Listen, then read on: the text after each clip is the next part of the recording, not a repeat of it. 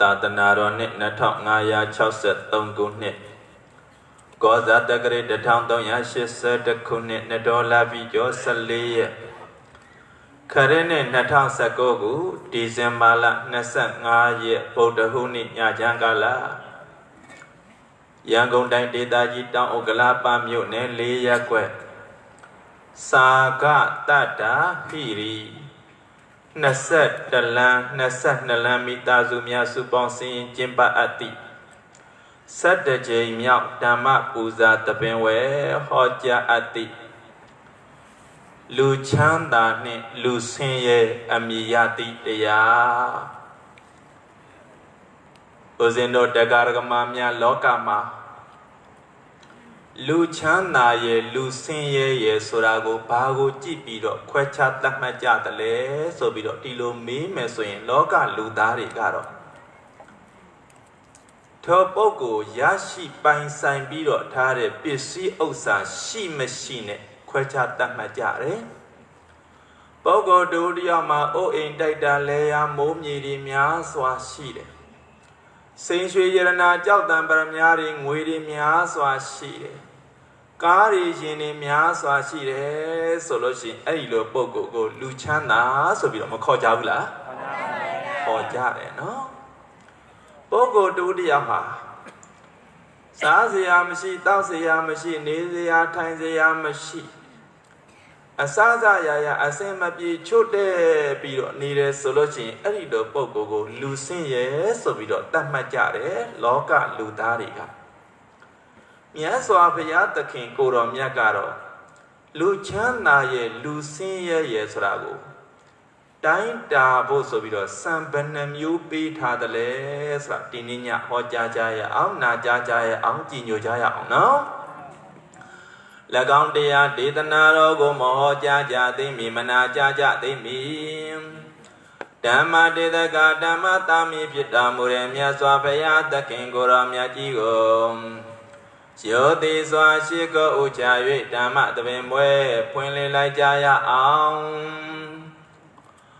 ဗုဒ္ဓဘောဓာယတေတိတိတံတော်ယောဓမ္မထာယသံ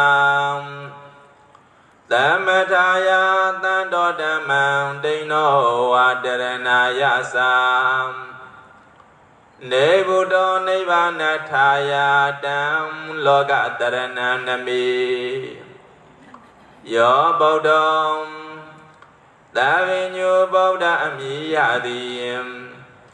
လောကတွတ်တင်တွတ်တွေကိုယ်ွယ်နေရတဲ့အကျင့်ဘုရားရှင်ကိုယ်တော်မြတ်ကြီးသည်ဗုဒ္ဓဝါသစ္စာလေးပါးမြတ်တရားကိုပြတ်သားတဲ့ကိုယ်တော်တိုင်းသိမြင်တော်မူပြီးသည်ဖြစ်ပေလာလျင် ဘောဓာယသာမြမနတ်လူသုံးပေါင်းသူတို့ကိုရမယံသိပါစေခြင်းကြိုးငါ၎င်းတံတော်ဝံကိုယ်နှုံနှလုံးသုံးပါးပိုင်ပိုင်ကိုတော်တိုင်းရင်ကျေတော်မူပြည်သည်ဖြစ်၍လာလျင်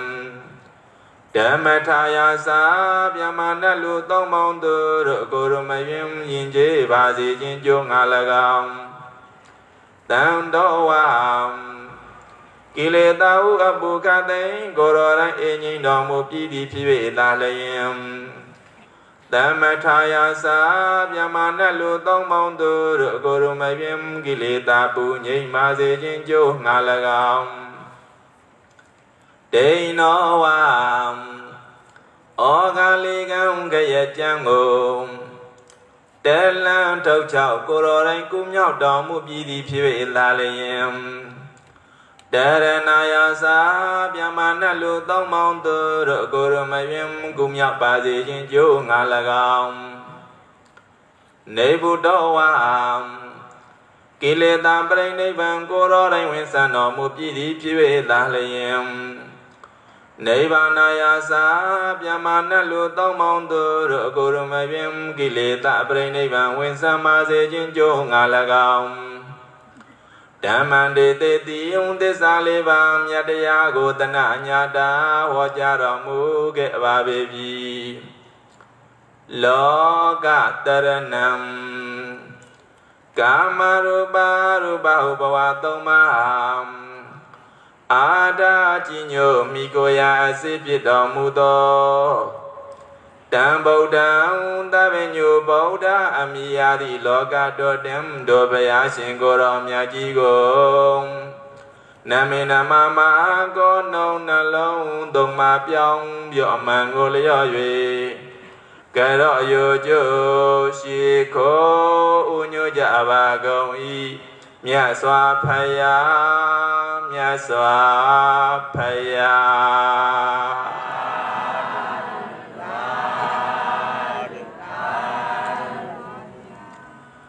ယတတတတတဂတိအသလသုပတိဋ္ဌိတံသီလင်စယတကလျာဏရိယကန္တံပတံတိတံတံကေပလာတော်ယတတိဥစုပုတင်္စတတနံအာတလိတော်တိတံအာဟုအာမောကံတတစီဝိတံယတအကျင်ပုဂ္ဂိုလ်မှာ တထာဂတိမြတ်စွာဘုရားအပေါ်၌အာဇလာလုံရခြင်းရိုက်မှုမရှိသောသုပတိဋ္ဌိတာကောင်းစွာတည်ရန်သောတတ္ထာသရာတရားသည်အဋ္ဌိရှိပါပေ၏ရသာခြင်းပုဂ္ဂိုလ်မှာကလျာဏံကောင်းသောအရိယာကန္တရိယာပုဂ္ဂိုလ်တို့သည်နှစ်သက်သော ပလံတိတံရိယာပုဂ္ဂိုလ်တို့သည်ချီးမွမ်းသောသီလင်္စကိုခြင်းသီလတရားသည်လည်းပဲအဋ္ဌိရှိပါပေ၏ရလာခြင်းပုဂ္ဂိုလ်မှာတန်ကေတန်ဃာတော်အပေါ်၌ပလာတော်ကြီးညိုမှုပတာတာတရားသည်အတ္တိရှိပါပေ၏ရလာခြင်းပုဂ္ဂိုလ်မှာဩဇုဗုဒ္ဓံပြောင်းမှန်သည်ဖြစ်ဖြစ်ဖြစ်သောတတနံစဉာဏ်မြင်သည်လည်းပဲအတ္တိရှိပါပေ၏တန်တော်ပုဂ္ဂိုလ်အမျိုးအစားကို အတလိတော်တိမစင်ရသောသူဟု၍ဝါလွန်တရားချမ်းသာသောဟုသူ၍အာဟုဘုရားစားသောသူတော်ကောင်းတို့ဟောကြားတော်မူကြပါပေကုန်တော့ဤတန်သာတော်ပုဂ္ဂိုလ်ဤဇီဝိတအသက်ရှင်ရာခြင်းသည်အာမောကံအချီအနိမောပါပေဣတိဤတော့လျင်ဘဂဝါဘုံကြောင့်ပါသခင်ဘုရားရှင်ကိုတော်မြတ်ကြီးသည် အဝေါစာကောင်းစွာမသွေဟောကြားတော်မူခဲ့ပါပေတည်း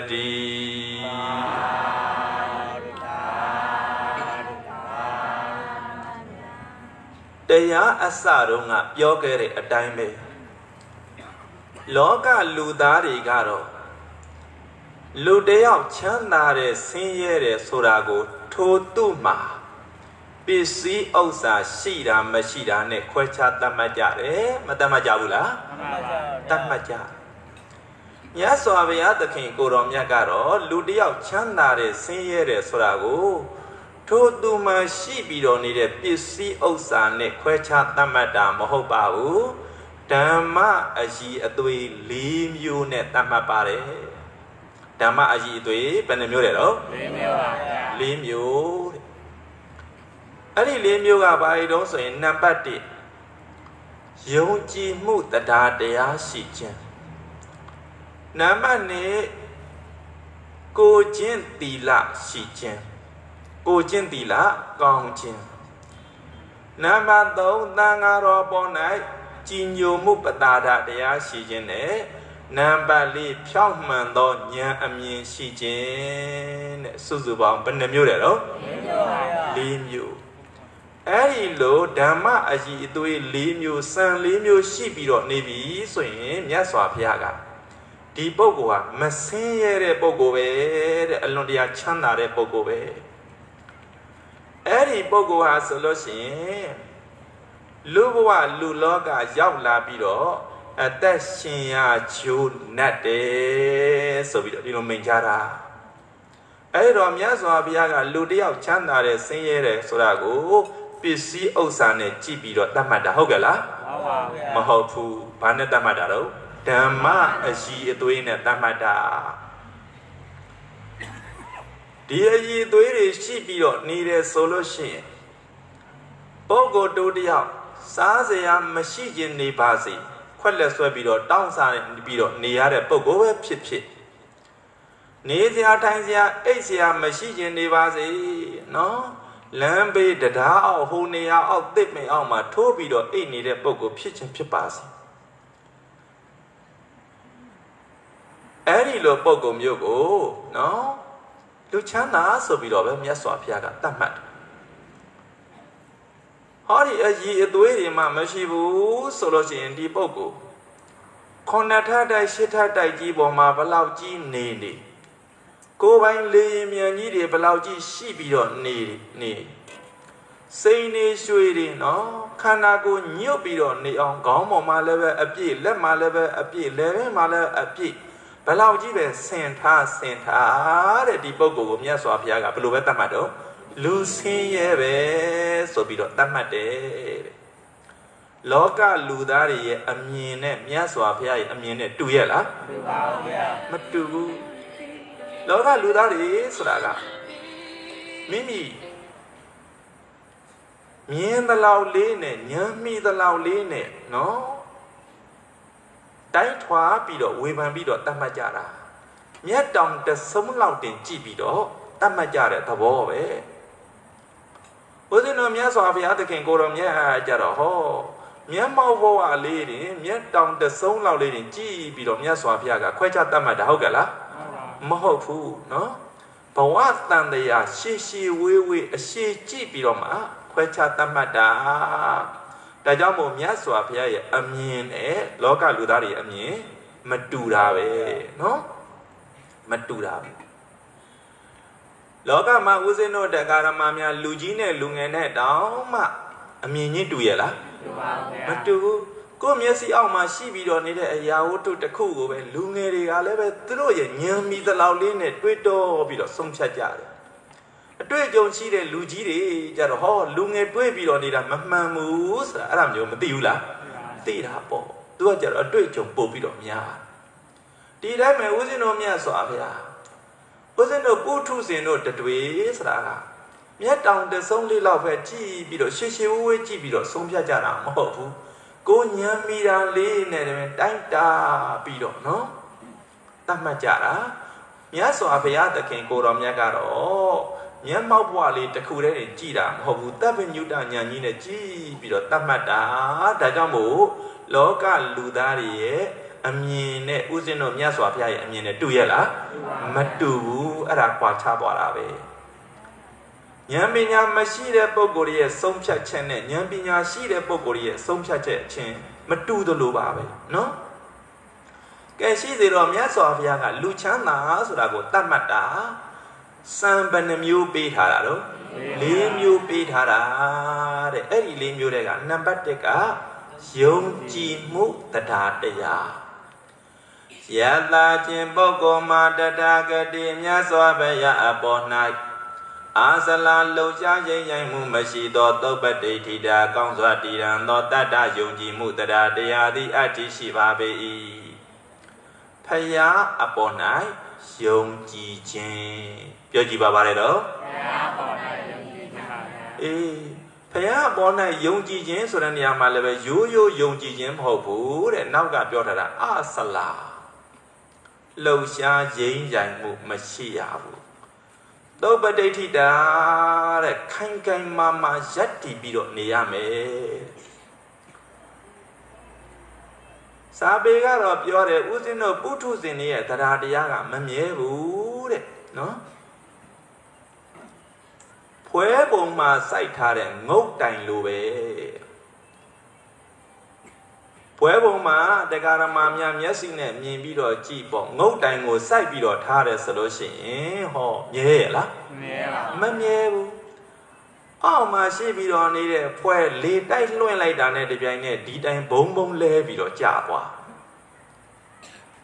ပုထုဇဉ်ရဲ့တရားတရားမခိုင်မြဲဘူးတဲ့ဥပမာနောက်တစ်မျိုးအဖြစ်ပြောရမယ်ဆိုလို့ရှိရင် မြင်းကြောက်ကုန်းပေါ်မှာတင်ထားတဲ့ကြောက်ဖယုံသီးလိုပဲမျက်စိထဲမြင်ပြီးတော့ကြည့်ပေါ့မြင်းကလည်းကစုံပေါက်ပြီးတော့ပြေးနေတယ်ဒီမြင်းရဲ့ကြောကုန်းပေါ်မှာလည်းပဲကြောက်ဖယုံသီးကိုတင်ထားတယ်မြင်းရဲ့ကြောက်ကုန်းကလည်းပဲခုံကုန်းဒါတဲ့ကကစုံလိုက်ကစုံပေါက်ပြေးနေသေးတယ်ကြောက်ဖယုံသီးကလုံးလုံးဆိုတဲ့ခါကျတော့မြင်းကြောကုန်းပေါ်မှာဒီပြောက်ကြောက်ဖယုံသီးတီတီငိမ့်ငိမ့်ရှိပါမလားမမရှိဘူး ဒီတိုင်းမဲ့ပုထုဇဉ်ရဲ့တရားတရားဆိုတာလေတည်ငြိမ်မှုမရှိဘူးတဲ့တောနေတစ်မျိုးခုတစ်မျိုးဖြစ်တတ်တယ်နောက်တစ်ခုပုထုဇဉ်ရဲ့တရားတရားကိုဘာနဲ့ဥပမာပေးသေးတုံးဆိုလို့ရှိရင်ပုထုဇဉ်ရဲ့တရားတရားဟာတဲ့ထိတ်ပြောင်မှတင်ထားတဲ့ထိမ်မှန်းလိုပဲ တရားဓမ္မများဟိုခေါင်းမှာပန်းတို့ဘာလို့မြန်ပန်းတယ်ဆိုလို့ရှိရင်သပင်တို့ဘာလို့ ਨੇ ညှက်ပြီးတော့ပန်းရတာဟုတ်တယ်မလားကုန်းပြီးတော့ပန်းတာမျိုးမဟုတ်ဘဲနဲ့အညာရှည်တဲ့ပန်းပွင့်တို့ဘာလို့မြန်ပန်းမဆိုလို့ရှိရင်သပင်နဲ့ညှက်ပြီးတော့ပန်းရကိုကြတော့ခေါင်းပေါ်မှာကသပင်မရှိဘူးထိတ်ပြောင်ကြီးဖြစ်ပြီးတော့နေတယ်ဆိုခေါင်းပေါ်မှာပန်းတင်ထားမယ်ဆိုရင်ခိုင်မမလားခိုင်ပါခိုင်မှုပြုတ်ကြတာပဲ အဲ့ဒီတိုင်းပဲတဲ့ပုထုဇဉ်ရဲ့သရတရားဆိုတာခိုင်မြဲမှုမရှိဘူးဖွဲပုံပေါ်မှာစိုက်ထားတဲ့ငုတ်တိုင်းလို့မြင်းကြောက်ကိုပေါ်မှာတင်ထားတဲ့ကြောက်ဖယုံသီးလို့ထိတ်ပြောင်ပြောင်မှာပန်ထားတယ်ပါလေတော့ထိန်ပန်းလိုပဲတဲ့တော်နေတစ်မျိုးခုတစ်မျိုးတဲ့နော်ခုကြည်ညိုတယ်တော်နေမကြည်ညိုတော့ဘူးဆိုတာမဖြစ်တတ်ဘူးလားဖြစ်တတ်တယ် ခုလှူတော့မယ်ဆိုပြီးတော့စဉ်းစားပြီးတော့နေတာတော်ကြလှူသေးပါဘူးလေအစင်မပြေတော့ဘူးဆိုပြီးတော့နော်နောက်ဆိုပြီးတော့သွားတာလည်းပဲမဖြစ်တတ်ဘူးလားဖြစ်တတ်တယ်ပုထုဇဉ်ရဲ့တရားတရားဆိုတာအဲ့ဒီလိုတဲ့မခိုင်မာတတ်ဘူးအဲ့တော့တို့ဒီနေရာမှာပြောမယ်ဆိုလို့ရှိရင်ဖះအပေါ်မှာယုံကြည်မှုတရားတရားပုထုဇဉ်ရဲ့တရားတရားမခိုင်မာတတ်ဘူးတော်နေဖះကြည်ညိုတယ်ဆိုပြီးတော့ဖြစ်တယ်တော်နေမကြည်ညိုတော့ဘူးဆိုပြီးတော့ဒီလိုမဖြစ်နိုင်ဘူးလားဖြစ်နိုင်တာပဲ ဒီတဲ့ပို့ပြီးတော့နားလည်အောင်တရားဓမ္မများပြောရမယ်ဆိုလို့ရှိရင်ယခုဗုဒ္ဓဘာသာဖြစ်ပြီးတော့နေတယ်ဟောတော်နေကြဘာသာကြဖြစ်မသွားနိုင်ဘူးလားဖြစ်သွားနိုင်တာပေါ့နော်ကိုယ်မှန်ကန်တဲ့ဗုဒ္ဓဘာသာကိုကြောခိုင်းပြီးတော့နော်ဒီပြင်ဘာသာထဲမှာပါပြီးတော့သွားနိုင်တယ်အဲ့ဒါတရားတရားခိုင်မာလို့လားမခိုင်မာလို့လားခိုင်မာလို့ပါမခိုင်မာလို့နော် အကြဘာသာကြားတွေနဲ့ရောနောဆက်ဆံရတယ်လူမှုရေးဆက်ဆံရတယ်စီးပွားရေးဆက်ဆံရတယ်ဘာအရေးညာရေးဆက်ဆံရတယ်အဲ့လိုဆက်ဆံရင်ဆက်ဆံရင်နဲ့ကိုယ်မှန်ကန်တဲ့ဗုဒ္ဓဘာသာမြတ်စွာဘုရားကြည်ညိုမှုကိုကြောခိုင်းပြီးတခါတော့တိပင်ပဲပါပြီးတော့သွားတတ်တာတွေရှိတယ်အဲ့ဒါတွေကလှုပ်ရှားမှုရှိတဲ့သဘောပဲမခိုင်မာတဲ့သဘောပဲเนาะစီးပွားရေးအနေအထားနဲ့ဖျားယောင်းခံရလို့တော့လကောင်းเนาะ အကြောင်းတစ်ခုကိုပြပြီးတော့ချင်းချောက်ခံရလို့တော့၎င်းအဲ့ဒီလိုအမျိုးမျိုးနဲ့ရိမ့်ရိုင်ပြီးတော့သွားတတ်တယ်တဲ့ပုထုဇဉ်ရဲ့တရားတရားနော်အဲ့တော့ဘာပဲပြောပြောရိမ့်ရိုင်မှုမရှိဘူးဆိုလို့ချင်းဒါဒီပုဂ္ဂိုလ်ကလူချမ်းသာပဲအဲ့လိုမဟုတ်ဘဲနဲ့ရိမ့်ရိုင်မှုရှိပြီးတော့သွားပြီဆိုရင်တော့ဒီပုဂ္ဂိုလ်ကဘာလဲတော့လူဆင်းရဲပဲတဲ့မြတ်စွာဘုရားက မိတ်ကြတာနော်ဆိုလိုတာကတော့တက္ကရာမမြအဲ့ဒီလိုပုံကိုတူတယောက်ဆိုကြပါစို့အခြားဖះကိုကြောခိုင်းပြီးတော့အခြားဘာသာတဲ့ဝင်လိုက်လို့သူတထေးကြီးဖြစ်ချင်းဖြစ်သွားမယ်ပေါ့ပိုက်ဆံနေအများကြီးရရင်ရပေလိမ့်မယ်ပေါ့နော်ပိုက်ဆံနေဘလောက်ကြီးအများကြီးပဲရရ ဒီရှိပြီးတော့နေတဲ့ပိုက်ဆံနေဆိုတာတဘဝစာတဏ္ဍစာပဲဟုတ်တယ်မလားဟောနောက်ဘဝမှာဒီပိုက်ဆံတွေယူသွားလို့ရလား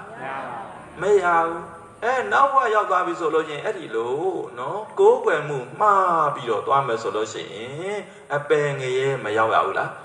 ရောက်ရတယ်အဲ့လိုဆိုရင်ချမ်းသာသေးလားမချမ်းသာတော့ဘူးဒါကြောင့်မို့မြတ်စွာဘုရားချမ်းသာတဲ့ဆင်းရဲတဲ့ဆိုတာတဘဝတည်းကြည်ပြောတာဟုတ်ကဲ့လား မဟုတ်ဘူးเนาะအဲ့ဒီတော့မြတ်စွာဘုရားအပေါ်မှာယုံကြည်မှုတရားတရားခိုင်မြဲဖို့ဆိုတာသောတာပန်ပုဂ္ဂိုလ်ဖြစ်ပြီဆိုလို့ရှင်တော့လုံးဝခိုင်မြဲတယ်တဲ့ဘလို့မှပြောင်းလဲမှုမရှိတော့ဘူးသောတာပန်ပုဂ္ဂိုလ်ဆိုလို့ရှိရင်အခြားဘာသာကြားပုဂ္ဂိုလ်တွေကမင်းငါတို့ဘာသာရဲ့ဝင်သိမ်းရာချီပြီးတော့ပေးမယ်ထောင်ချီပြီးတော့ပေးမယ် နိုင်ငံသားကိုပညာသင်တော့ပညာတော်သင်တွေလွတ်ပြီးတော့ပေးမယ်နော်စသည်အပြင်ဘလို့ပဲဖြားယောင်းဖြားယောင်းတဲ့ရိမ့်ရိုင်မှုမရှိဘူးဗုဒ္ဓဘာသာကိုစွန့်လွတ်မလားမစွန့်လွတ်ဘူးလားပြောမစွန့်လွတ်ဘူးဆိုလို့ရှိရင်တော့တတ်ပြင်မယ်ဆိုပြီးတော့ဂုတ်ပေါ်ဓာဝဲပြီးတော့ချင်းချောက်ချင်းချင်းချောက်တဲ့ပြည့်ရွေးမှုမရှိဘူးတဲ့သောတာပန်နေကြတော့အဲ့ဒီလောက်ခိုင်မာတာ ဦးဇင်းတို့ပုထုဇဉ်တွေကြတော့အဲ့ဒီလိုခိုင်မာမှုမရှိဘူးပေါ့သို့တော်လည်းပဲမရှိပင်မရှိတော့လည်းပဲတို့တဲ့တွေရလည်းပဲတို့ရဲ့မှန်ကန်တဲ့နော်ကိုးကွယ်မှုပေါ်မှာခိုင်ခိုင်မာမာရပ်တည်နေအောင်ကြိုးစားကြဖို့မလိုအပ်ဘူးလားဟုတ်ပါပါတယ်လိုတယ်ပေါ့နော်သောတာပန်ပုဂ္ဂိုလ်ကြီးကြတော့အလွန်တရာခိုင်မာမနတ်ကနေပြီးတော့စမ်းတတ်တာတောင်မှမရဘူးနော် မြတ်စွာဘုရားလက်ထက်တုန်းကတကားတွေထဲမှာကြီးညိုတတ်တဲ့နော်တကားတွေထဲမှာမြတ်စွာဘုရားကအေတတဲ့ဘွဲ့ပေးခံထားရတဲ့တကားတစ်ယောက်ရှိတယ်နော်သူရံဘတ်ထာတကားတစ်ယောက်ရှိတယ်သူကမူလတော့ကဗုဒ္ဓဘာသာမဟုတ်ဘူး တနည်းအားဖြင့်ပြောမယ်ဆိုရင်ဥစဉ်တို့မြတ်စွာဘုရားကိုကိုးကွယ်တာမဟုတ်ဘူးအဲ့ဒီခေတ်တုန်းကရှိပြီးတော့နေတဲ့ဒိဋ္ဌိဆရာကြီးတွေကိုးကွယ်တာတကားတော့မြတ်စွာဘုရားသခင်ကိုတော်မြတ်ကသူ့ရဲ့ရှေးပါရမီဉာဏ်ကိုကြည့်ပြီးတော့နော်အော်သူ့မှာတစ္ဆာလေးပါးကိုတိတိုက်တဲ့ဉာဏ်ပညာအတွင်းထဲမှာကိန်းအောင်ပြီးတော့နေတယ်ဆိုပြီးတော့သူ့ကိုချစ်ချွတ်ခြင်းလို့ဆိုပြီးတော့မြတ်စွာဘုရားသူ့အိမ်စွန့်ခံကြွား သူကမြတ်စွာဘုရားကိုကိုးကွယ်တာမဟုတ်ပေမဲ့လည်းပဲဟောမြတ်စွာဘုရားလာတော့စွန့်တော့ပါတော့ပင့်ပြီးတော့ကတ်ရဖះမကြည်ညိုပဲနဲ့ဘာဘူးလို့မို့အိမ်ထဲမှာတေးသေးချာချာပင့်ပြီးတော့စွန့်တော့ပါတော့ကတ်ရတာတော့ဆိုတာဒါတွေးတော့ပြီးတော့ကြည့်မစရင်လောကသဘာဝအလွယ်လေးပါပဲလောကမှာလည်းပဲဥစဉ်တို့တရားဓမ္မများအလွန်တရာနာမည်ကြီးပြီးတော့နေကြတယ်ဇာရုအာနာပါဝါကြီးမားကြတဲ့ပုံကိုယ်တွေပဲဖြစ်ဖြစ် ပိုက်ဆံနေပါတဲ့အလွန်တရာပေါများတဲ့ပုံကိုယ်တွေပဲဖြစ်ဖြစ်ကိုယ်အိမ်ကိုလာမယ်ဆိုရင်တရားဓမ္မများကိုကြိုက်ကြိုက်မကြိုက်ကြိုက်အပြုံးနဲ့နှုတ်မဆက်ရဘူးလားဟုတ်ကဲ့နှုတ်ဆက်ရတာပဲနော်ဒီညမှာလည်းပဲဦးဇင်းတို့မြတ်စွာဘုရားဆိုတာလောကမှာတကယ်အထွတ်အထိပ်ကောသလမင်းကြီးတို့ကကိုးကွယ်တယ်ဗိမိတာရမင်းကြီးတို့ကကိုးကွယ်တယ်မူကြီးမယာတေနာပတိတွေကကိုးကွယ်တယ်တထေးတကျော်တွေကကိုးကွယ်တယ်ဆိုတော့ တကယ်အထက်တန်းသားဖြစ်ပြီးတော့နေတော့မယုံမသိမပြူရဲဘူးလေဒါကြောင့်မို့အိမ်ကြွလာတဲ့ခိုင်တော့စွန်းဆက်ကရမြတ်စွာဘုရားကတရားဟောတယ်တူတူပဲပြောကြပါစို့သူသောတာပန်ဖြစ်သွားတယ်မြတ်စွာဘုရားကတရားဟောပြီးတော့ပြန်ကြွသွားမြတ်စွာဘုရားပြန်ကြွသွားတော့ဘယ်သူဝင်လာတော့ဆိုရင်မဏ္ဍဝင်လာမဏ္ဍကစဉ်းစားတယ်ဘယ်လိုတော့ဆိုလို့ရှိရင် စဉ်းစားတာတုရံပဋ္ဌကငကိုတော့ကတို့ရဲ့လူတဲ့ခုတော့ယဟန်ကောရမသူ့အိမ်ကိုကြွပြီးတော့သွားတရားဓမ္မတွေကလည်းပဲဟောလိုက်တာမနှောမနှဲမနှောပဲတုရံပဋ္ဌဘယ်နဲ့လဲတို့ရဲ့လက်ကလွတ်သွားပြီလားငါစားတက်ကြည့်အောင်ပါပဲဆိုပြီးတော့နော်ပါလို့တုံဆိုရင်ဖျားရောင်ဆောင်ဖန်ဆင်းပြီးတော့တုရံပဋ္ဌအိမ်ပြန်ကြွပြန်သွား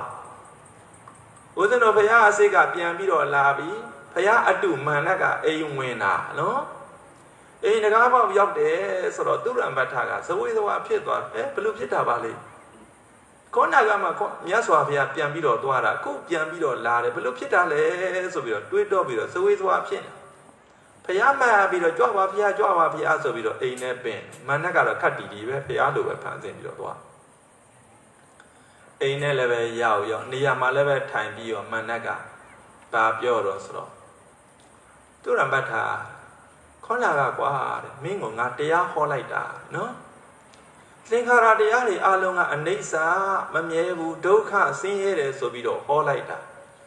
ဓမ္မတွေအလုံးကအနတ္တအကိုစိုးကိုယ်ပိုင်မဟုတ်ဘူးဆိုပြီးတော့ဟောလိုက်တာကွာတဲ့အဲ့ဒီတရားနည်းနည်းမှားသွားလို့ပြန်ပြီးတော့ပြင်ထားတယ်နော်လုံးပုံကမှန်တဲ့ဘုရားတရားဟောတာမှားရမယ်လို့နော် အဲ့ဒါအခုတရားမှားတာလာပြီးတော့ပြင်တာဆိုပြီးတော့ဒီလိုပြောတော့တုရံပဋ္ဌာကစဉ်းစားတယ်ဟာဒီစကားကတော့အလွန်တရာဝန်လေးတဲ့စကားပဲပဲနဲ့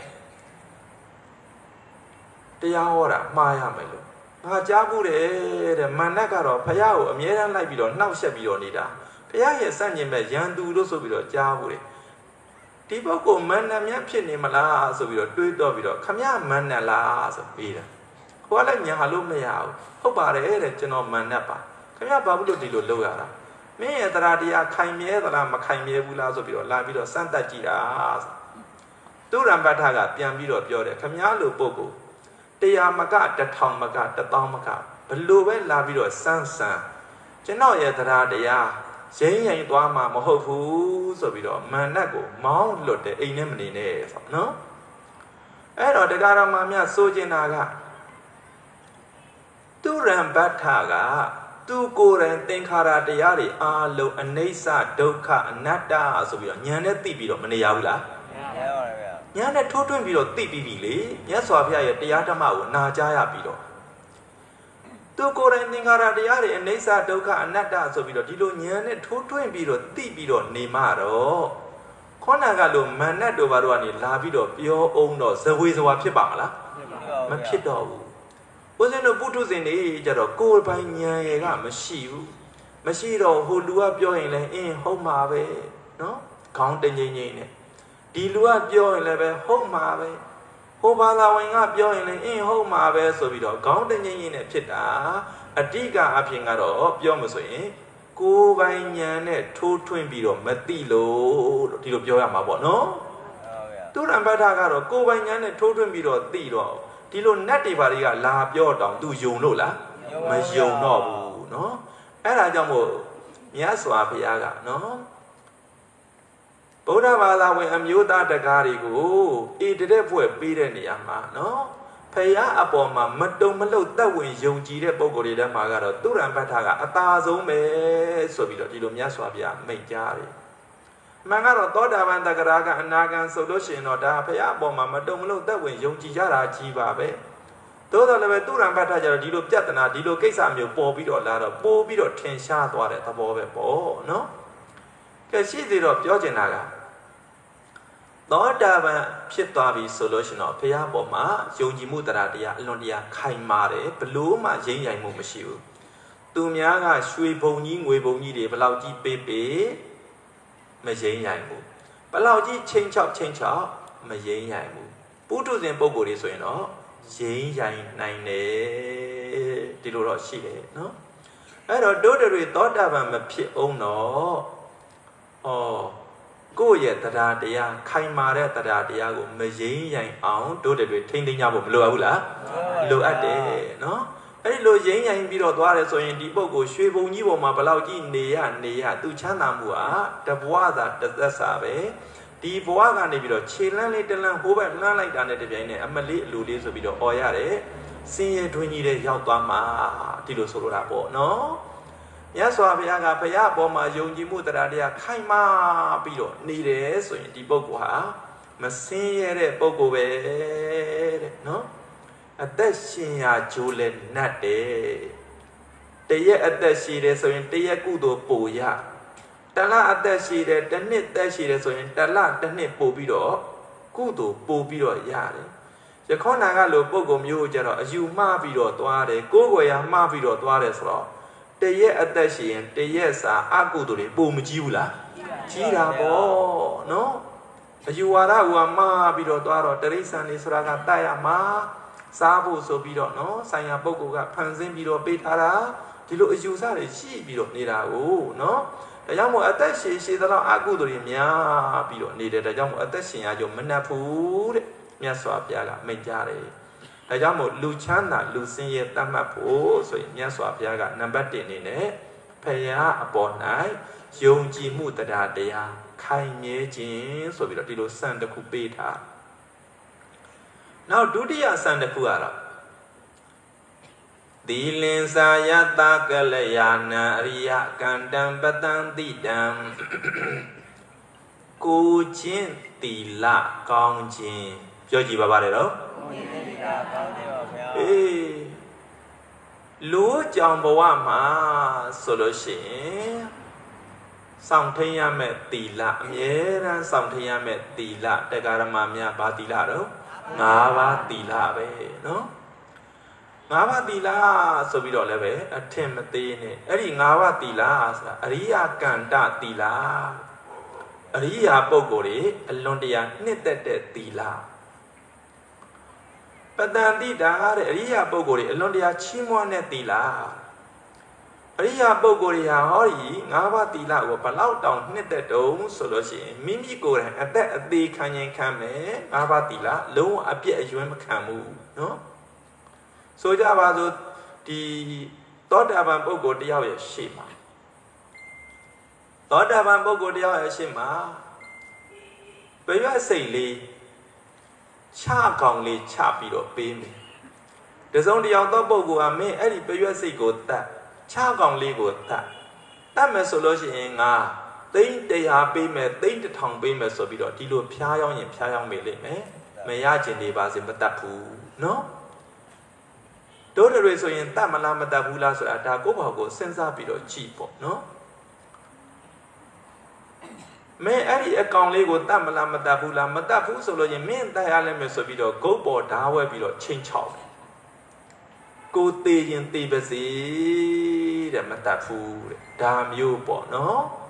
အဲ့လိုအရိယာပုဂ္ဂိုလ်ကြီးဆိုတာတက္ကရာမများ၅ပါးသီလကိုအသက်နဲ့လဲပြီးတော့ကိုထိမ့်သိမ့်တာအဲ့ဒီတဘာဝနားမလဲတဲ့ခါကျတော့သောတာပန်ပုဂ္ဂိုလ်လည်းပဲခိုးစရာရှိခိုးမှာပဲဆိုပြီးတော့စာရေးဆရာကြီးတယောက်ကရေးတာရှိဘူးသေးတယ်နော်မဟာစီဆရာတော်ကြီးကဆိုလို့ချင်းအဲ့ဒါကိုသိတော့ဝေဖန်တယ်တရိษံနာမည်နဲ့ စာရေးဆရာကြီးတယောက်ကသောတာပန်အရက်တောက်ပါတယ်ခိုးပါတယ်ဆိုပြီးတော့နော်သူကဘလို့ရေးထားတာတုံးဆိုတော့ဒီလိုရေးတယ်နော်သောတာပန်ပုဂ္ဂိုလ်တယောက်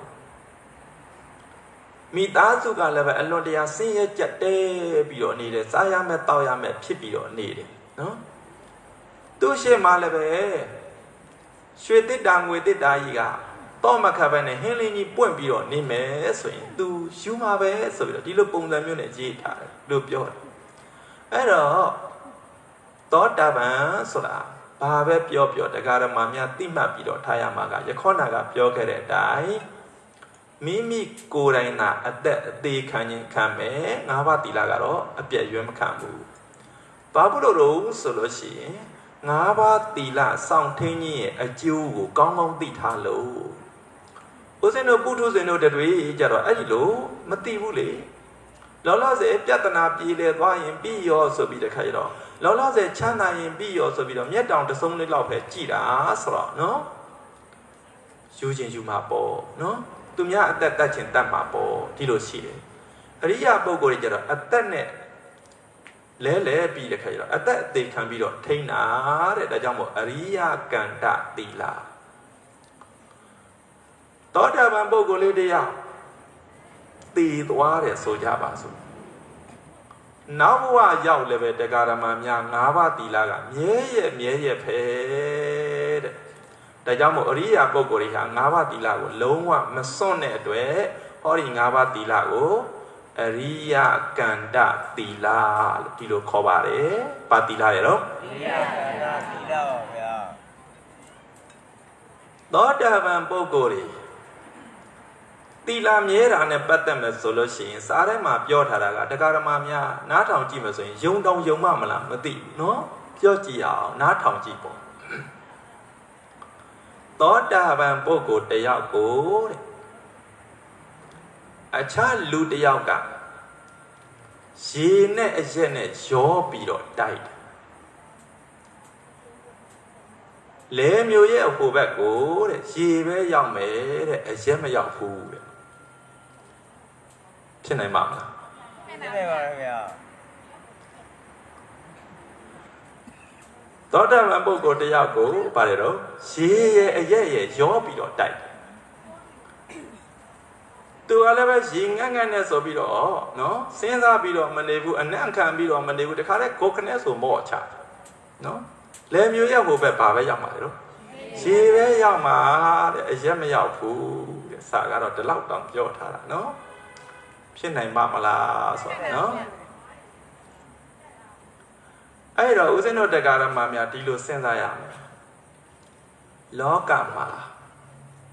အရဲ့ရဲ့အာနိသင်ကိုပြက်ပြယ်စေတတ်တဲ့တစ်မြစ်တို့ဘာလို့ဆိုတာမရှိဘူးလားရှိပါဗျာဆေးမြစ်တို့ဘာလို့ဆိုတာရှိတယ်နော်ပြောကြတာအရက်တွေဘလောက်ကြီးမူးမူးတဲ့အဲ့ဒီပုဂ္ဂိုလ်ကိုအေခီးအမြင့်မြန်တွေးပြီးတော့တိုက်လုံးဝအမှုပြောက်သွားတယ်လို့ဒီလိုပြောတာနော်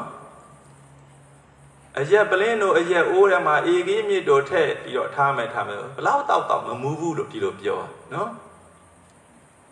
တချို့ဆိုလို့ရှိရင်အရက်အိုးကိုချပြီးတော့တောက်ကြအေခီးပင်အောက်မှာတောက်တယ်ဘလောက်တောက်တောက်မမူးဘူးတဲ့နော်ဟာ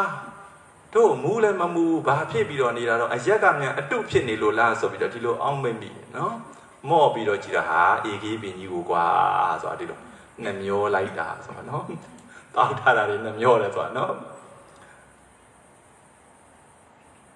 အဲ့လိုပဲလောကမှာတချို့ဆေးဝါးတွေအရက်ရဲ့အာနိသင်လုံးဝပြက်ပြက်စေတတ်တဲ့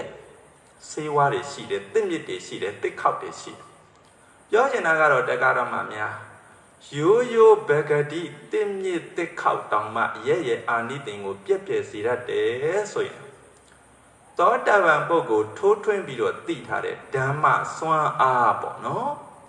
အဲ့ဒီဓမ္မစွမ်းအားကအရက်ကိုအာနိသင်ပြက်ပြက်အောင်မစွမ်းဆောင်နိုင်ဘူးလားစွမ်းဆောင်နိုင်မယ်ဆိုပြီးတော့ဒီလိုမှန်းဆပြီးတော့သိနိုင်တာပေါ့အဲ့တော့တရားဓမ္မများဒီလိုသိသောတာပန်ပုဂ္ဂိုလ်ကိုအရက်ရရရဘလောက်ကြီးရောပြီးတော့တိုက်တိုက်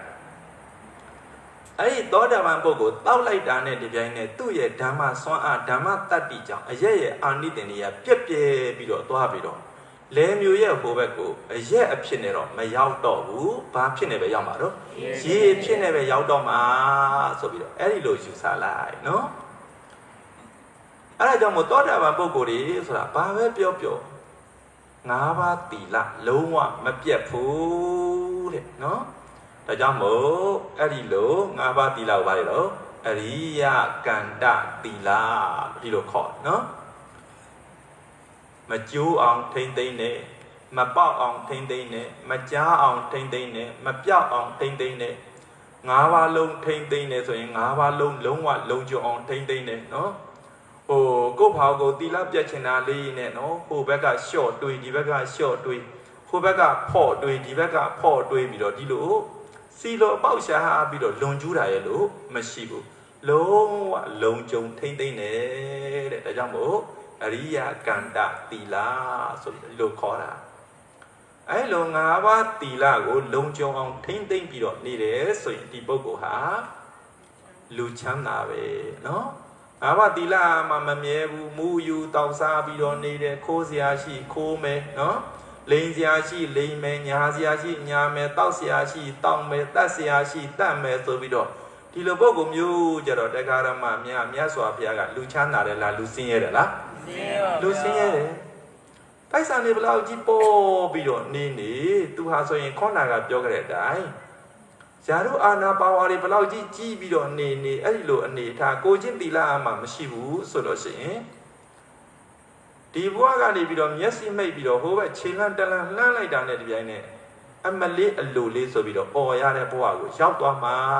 နော်ဒါကြောင့်မို့မြတ်စွာဘုရားကကိုချင်းတီလာမရှိဘူးဆိုရင်ဒါ ဒလိဒဆင်းရဲသားပဲတဲ့ဒီလိုဆိုထားတယ်နော်ဒလိဒဆင်းရဲသားပဲအသက်ရှည်ရာကျိုးလည်းပဲမနှက်ဘူးတဲ့ကိုချင်းသီလမကောင်းတဲ့ပုံကောင်များဆိုရင်တရားဓမ္မများအသက်တရက်ရှည်တယ်ဆိုရင်တရက်စာအကုသို့မတိုးဘူးလားတိုးတယ်သူများအသက်ကိုတတ်ပြီးတော့နေကြတယ်သူများပစ္စည်းဥစ္စာခိုးပြီးတော့နေကြတယ်သူများအိမ်ယာပြင်မလင်ညာစကားတွေပြောပြီးတော့နော်အရက်ဒေသမူးရည်စေဝါတွေတောက်စားပြီးတော့နေကြတယ် တရက်အသက်ရှည်ရင်တရက်စာအကုသို့တိုးတယ်တလအသက်ရှည်တယ်ဆိုရင်တလစာအကုသို့တိုးတယ်တစ်နှစ်အသက်ရှည်တယ်ဆိုရင်တစ်နှစ်စာအကုသို့တိုးပြီးတော့နေတဲ့အတွက်မြတ်စွာဘုရားကအဲ့လိုပုဂ္ဂိုလ်မျိုးအသက်ရှည်ရကြုံမနှက်ဘူးတဲ့ကိုချင်းသီလမြန်ကောင်းပြီးတော့နေတယ်ဆိုရင်တော့ဒီပုဂ္ဂိုလ်ဘလောက်ကြီးလောကမျက်မြင်အဖြစ်ပိုက်ဆံမရှိခြင်းနေပါစေရွှေတွေစိန်တွေ မစင်နိုင်ရင်နေပါစေစားစရာတောက်စရာမရှိရင်နေပါစေအောက်တေဆုံးခွက်လက်ဆွဲပြီးတော့တောင်းစားနေရအောင်တော့အဲ့ဒီပုဂ္ဂိုလ်ကိုမြတ်စွာဘုရားကလူချမ်းသာဆိုပြီးတော့ပဲသတ်မှတ်တယ်တဲ့သူဟာအသက်ရှင်ရကြုံနတ်တယ်မြတ်စွာဘုရားအတိလနဲ့ပတ်သက်ပြီးတော့တဏှာမှာဟောထားတာလေးနားထောင်ကြည့်စမ်းပါယောသဝတတတံဇီဝေဒုတ်တိလောအာတမဟိတော ဧကဟံဇီဝိတံတေယောတိလဝန္တတစာယိနောပုဂ္ဂိုလ်တယောက်ကိုချင်းတီလပြည့်ရွင်ပြီးတော့ကိုချင်းတီလမပါဘဲနဲ့စိတ်ကလည်းပဲရောက်ရက်ခတ်ပြီးတော့နေတယ်အဲ့ဒီလိုပုံစံမျိုးနဲ့အသက်တရားရှိတယ်နောက်တစ်ယောက်ကကျတော့ကိုချင်းသီလရှိရှိလေးနဲ့ တမာဒီကောင်းကောင်းလေးနဲ့အသက်တည့်ရထက်အသက်ရှိတယ်နှစ်ယောက်ရှင်ကြည်တဲ့တည့်ရထက်အသက်ရှိရတာကပို့ပြီးတော့မြတ်တယ်တဲ့ဒီလိုပြောတယ်နော်ဒါကြောင့်မို့ဦးဇင်းတို့တတွေဦးဇင်းတို့တက္ကရာမတို့တတွေကိုလူရည်လို့ဖြစ်လာရတဲ့ဘဝမှာကိုဘဝကိုပေါက်လွတ်ပဲစားမထားပဲနဲ့တတ်နိုင်သမျှကိုချင်းတီလာလေးကို ဟောထိမ့်သိမ့်ဖို့လိုအပ်တယ်မလိုအပ်ဘူးလားလိုအပ်တယ်ပစ္စည်းဥစ္စာမျက်နှာကိုကြည့်ပြီးတခိုက်တော့ကိုချင်းတီလာတွေဖောက်ဖြက်ပြီးတော့ပြစ်မယ်ဆိုလို့ရှိရင်ဒီဘဝချမ်းသာခြင်းချမ်းသာမယ်နောက်ဘဝကကျတော့ဒုက္ခရောက်ရတဲ့ဘဝမျိုးရောက်ပါနောက်ဘဝဒုက္ခရောက်တယ်ဆိုတာလည်းပဲခဏဒုက္ခရောက်မှာမဟုတ်ဘူးဘဝတစ်ခုပြီးဆက်တစ်ခုပြီးဆက်ဒီလိုသဘောမျိုးဖြစ်သွားတယ်ဦးဇင်းတို့မတော်လို့များငရဲမြန်ကြမယ်ဆိုရင်နှစ်ပေါင်းသိမ့်မကတောင်းမက အဲ့လောက်ကြီးကြီးအမလီလူလီអော်ရမှာဆိုတာဒါစဉ်းစားပြီးတော့ကြည့်ပေါ့ဦးဇင်းတို့ဖရာအလောင်းဖရာအလောင်းလည်းပဲအကုသိုလ်လို့ရင် तू လည်းငရဲကြတာပဲကြားလားဖရာအလောင်းတေမိယမင်းသားဆိုတာကြားဘူးကြမှာနော်တေမိယမင်းသားရဲ့ဘဝအရှင်ဘဝတုန်းကဘာဖြစ်ခဲ့တော့ဆိုလို့ရှိရင်သူကနတ်ပြည်ဖြစ်ခဲ့နတ်ပြည်ရဲ့အရင်ဘဝတုန်းကဘာဖြစ်ခဲ့တော့ငရဲပြည်ဖြစ်ခဲ့ ငရဲပြည်ရဲ့အရင်တုန်းကဘာဖြစ်ခဲ့တော့ဆိုရင်လူပြည်မှာဖြစ်ခဲ့တယ်ဗာရာဏသီပြည်မှာဘယင်ဖြစ်ခဲ့တာမတရားတဲ့နည်းနဲ့တိုင်းပြည်ကိုအုပ်ချုပ်တယ်နှစ်ပေါင်း20တဲ့နော်ငရဲကြတယ်နှစ်ပေါင်း8000လောက်ခံရတယ်နော်တန်လားတန်မှုနော်ဘယင်ဖြစ်နေနေခဲ့တာကနှစ်ပေါင်း20ငရဲခံရတော့နှစ်ပေါင်း8000 အဲ့ဒါနဲ့သူဘယင်ဖြစ်ရမှာကိုကြောက်ပြီးတော့တော်ပြီးတော်ပြီးဆိုပြီးတော့နော်ဘယင်မဖြစ်အောင်လို့ဘယင်မဖြစ်ချင်လို့ဆိုပြီးတော့နော်အစွန်အားအားရောင်ဆောင်တာနော်တေမိယစကားမပြောဘူးဆိုလို့ရှိရင်အရာထက်မှလည်းပြောတယ်မဟုတ်လားနှုတ်နေတယ်ဆိုရင်မင်းကလည်းတေမိယကြာတာဆိုနော်တင်မီမင်းကြာတာဆိုတာဒါမျိုးပြောတယ်စကားမပြောဘဲနဲ့နော်ကဲရှိသေးတော့ပြောချင်တာကတော့ ဩမိမိတို့လူရလို့ဖြစ်ပြီးတော့လာပြီဆိုလို့ရှိရင်ဘဝမှာတန်ဖိုးရှိရှိဟိုရင်ဖြစ်ချင်တယ်ဆိုလို့ရှိရင်နေချင်တယ်ဆိုရင်တတ်နိုင်တယ်ဗျာကိုချင်းတီလာလေးကိုလုံခြုံအောင်ထိမ့်သိမ့်ပြီးတော့နေရမယ်ဓမ္မမြတ်စွာဘုရားကလူချမ်းသာဆိုပြီးတော့တတ်မှတ်မယ်မြတ်စွာဘုရားတတ်မှတ်တယ်လို့ဘဝတန်တဲ့အဆက်ဆက်ချမ်းသာမှာအဲ့လိုမဟုတ်ဘဲနဲ့ကိုချင်းတီလာကိုစီးပွားဥစ္စာနဲ့လဲပြီးတော့ယူလိုက်မယ်ဆိုလို့ချင်းဒီဘဝမှာစီးပွားဥစ္စာတော့ရရင်ရမယ်တိုးတော်လည်းပဲနောက်ဘဝကျတော့ နှစ်ရှည်လာမြအလွန်တရာဆင်းရဲမှာအသက်ရှင်ရကြုံမနှက်ဘူးတဲ့ဒီလိုမြတ်စွာဘုရားဟောကြားတယ်ဒါကြောင့်မို့ဦးဇင်းတို့တက္ကရာမများ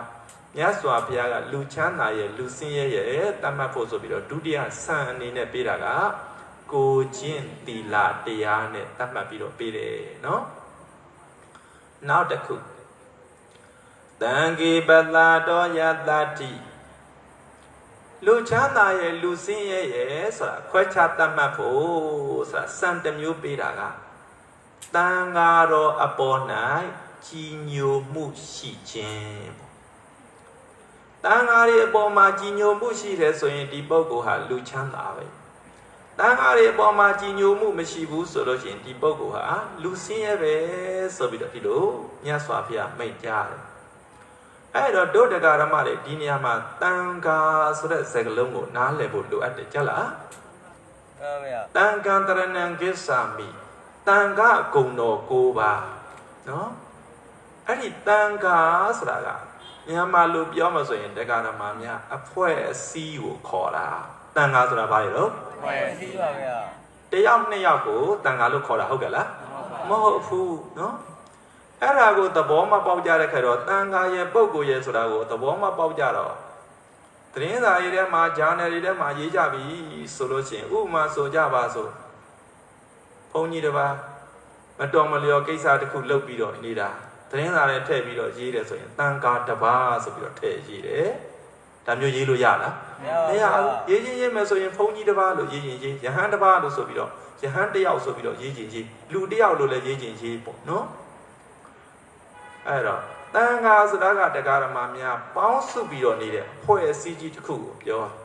အဓိကအဖြစ်ကတော့တန်ခါကုံတော်ကိုးပါးထဲမှာစိုးကြည့်ဣတိယတိတံစတ္တာရိပုရိတယုဂာနိအဲ့နော်ပါလေနော်အထပုရိတပုဂ္ဂလနော်တန်ခါဆိုတာပေါင်းနေတာကဘာတွေပေါင်းနေတာတော့အရိယာပုဂ္ဂိုလ်တွေပေါင်းပြီးတော့နေတာစတ္တာရိပုရိတယုဂာနိတဲ့ အစုံအပြင်၄စုံအထပုရိတပုဂ္ဂလအရေးအတွက်အပြင်ပုဂ္ဂိုလ်၈ယောက်နော်၈ယောက်အစုံအပြင်၄စုံဆိုတာကတော့အဘိဓမ္မာသင်ထားကြတဲ့ပုံကိုယ်တွေဆိုရင်သိပါတယ်သောတပတ္တိမက္ခထံပုဂ္ဂိုလ်သောတပတ္တိဖလထံပုဂ္ဂိုလ်ဒါတစုံနှစ်ယောက်တဂရဂာမိမက္ခထံပုဂ္ဂိုလ်တဂရဂာမိဖလထံပုဂ္ဂိုလ်တစုံနှစ်ယောက် အနာဂာမိမက္ခထံပုဂ္ဂိုလ်အနာဂာမိဖလထံပုဂ္ဂိုလ်တစုံနှစ်ယောက်အရတ္တမက္ခထံပုဂ္ဂိုလ်အရတ္တဖလထံပုဂ္ဂိုလ်တစုံနှစ်ယောက်စုစုအပြင်အစုံပဲနှစ်စုံရှိတော့၄စုံရှိတယ်ပုဂ္ဂိုလ်အပြင်ပါလို့ရှေ့ရောက်ရှိတယ်အဲ့ဒါကိုပြောတာစတ္တာရိပုရိတာယုဂာနိအထပုရိတာပုဂ္ဂလာညစွာဘုရားရဲ့တပည့်သားတာဝကတန်ခါအစေးဆိုတာအဲ့ဒါကိုမျိုးကမှအစေးနော်ဒါပြင်ခုခေတ်ရှိပြီးတော့နေတဲ့ယဟန်တွေ တန်ခါစင်းနဲ့မဝင်ဘူးလားလို့ဒီလိုမေးမယ်ဆိုလို့ရှိရင်တော့သူတို့လည်းသူတို့ရဲ့တဏ္ဍာမှာတော့ကိလေသာတွေတော့ရှိပြီးတော့နေတာပဲသို့တော့အရိယာပုဂ္ဂိုလ်အဆင့်တော့မရောက်သေးဘူးသို့တော်လည်းပဲအရိယာပုဂ္ဂိုလ်ဖြစ်ဖို့ဘာပဲပြောပြောကိလေသာနှဲပါအောင်ဆိုပြီးတော့ဒီလို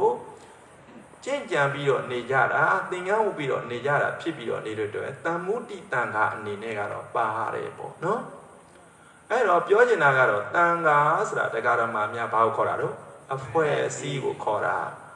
ယဟန်တပါမတော်မလျော်လုပ်နေတာကိုကြည့်ပြီးတော့ဒီတန်ခါတွေကိုကကောင်းကောင်းမနေဘူးဒီအတိုင်းကြီးပဲဆိုဒီလိုပြောလိုက်လို့ဆိုရင်သူပြောလိုက်တဲ့ဇကားထဲမှာယဟန်ဓာတွေလည်းပဲပါသွားမယ်သောတာပန်တဂရကအနာဂန်တွေလည်းပဲပါသွားမယ်ရှင်သာရိပုတ္တရာတို့လည်းပဲပါသွားမယ်ရှင်မာမောက္ကလန်တို့လည်းပဲပါသွားမယ်ဟောရှင်မာကတ္တဗတို့လည်းပဲပါသွားမယ်ဝက်လုံးရှင်နဲ့သိမ့်ပြီးတော့ရိုက်တော့နော် အဲ့ဒီလိုအရိယာပုဂ္ဂိုလ်ကြီးတွေလည်းပဲပါမသွားဘူးလားပါသွားတယ်ဒါကြောင့်မို့ယဟန်တပါမတုံမလျောလုပ်ပြီးတော့နေတယ်ဆိုလို့ရှိရင်အပြစ်ပြောမယ်ဆိုရင်ပြောနိုင်တယ်သို့တော်လည်းတန်ခါလို့မတုံးရဘူးဘုံကြီးတစ်ပါးလို့တုံးရင်တုံးဘုံကြီးတစ်ယောက်လို့တုံးရင်တုံးတုံးပေါ့ရနော်တန်ခါလို့တော့မတုံးရဘူးတန်ခါဆိုတာကဘာလို့အဖွဲ့အစည်းအဖွဲ့အစည်းနဲ့ပုဂ္ဂိုလ်တူတစ်ယောက်နဲ့တူမှမတူပဲနဲ့နော် အဲ့တော့မိမိတို့တွေခုနကပြောခဲ့တဲ့အတိုင်းယဟန်တစ်ပါးမတော်မလျော်လုပ်ပြီးတော့နေတာလမ်းပေးမှတွေ့မယ်တန်ဃာတွေအားလုံးဒီတိုင်းကြီးပါပဲဆိုပြီးတော့အကုန်လုံးဝလုံးရှင်နဲ့သိမ့်ရိုက်တယ်တော်ပါမလားမတော်ဘူး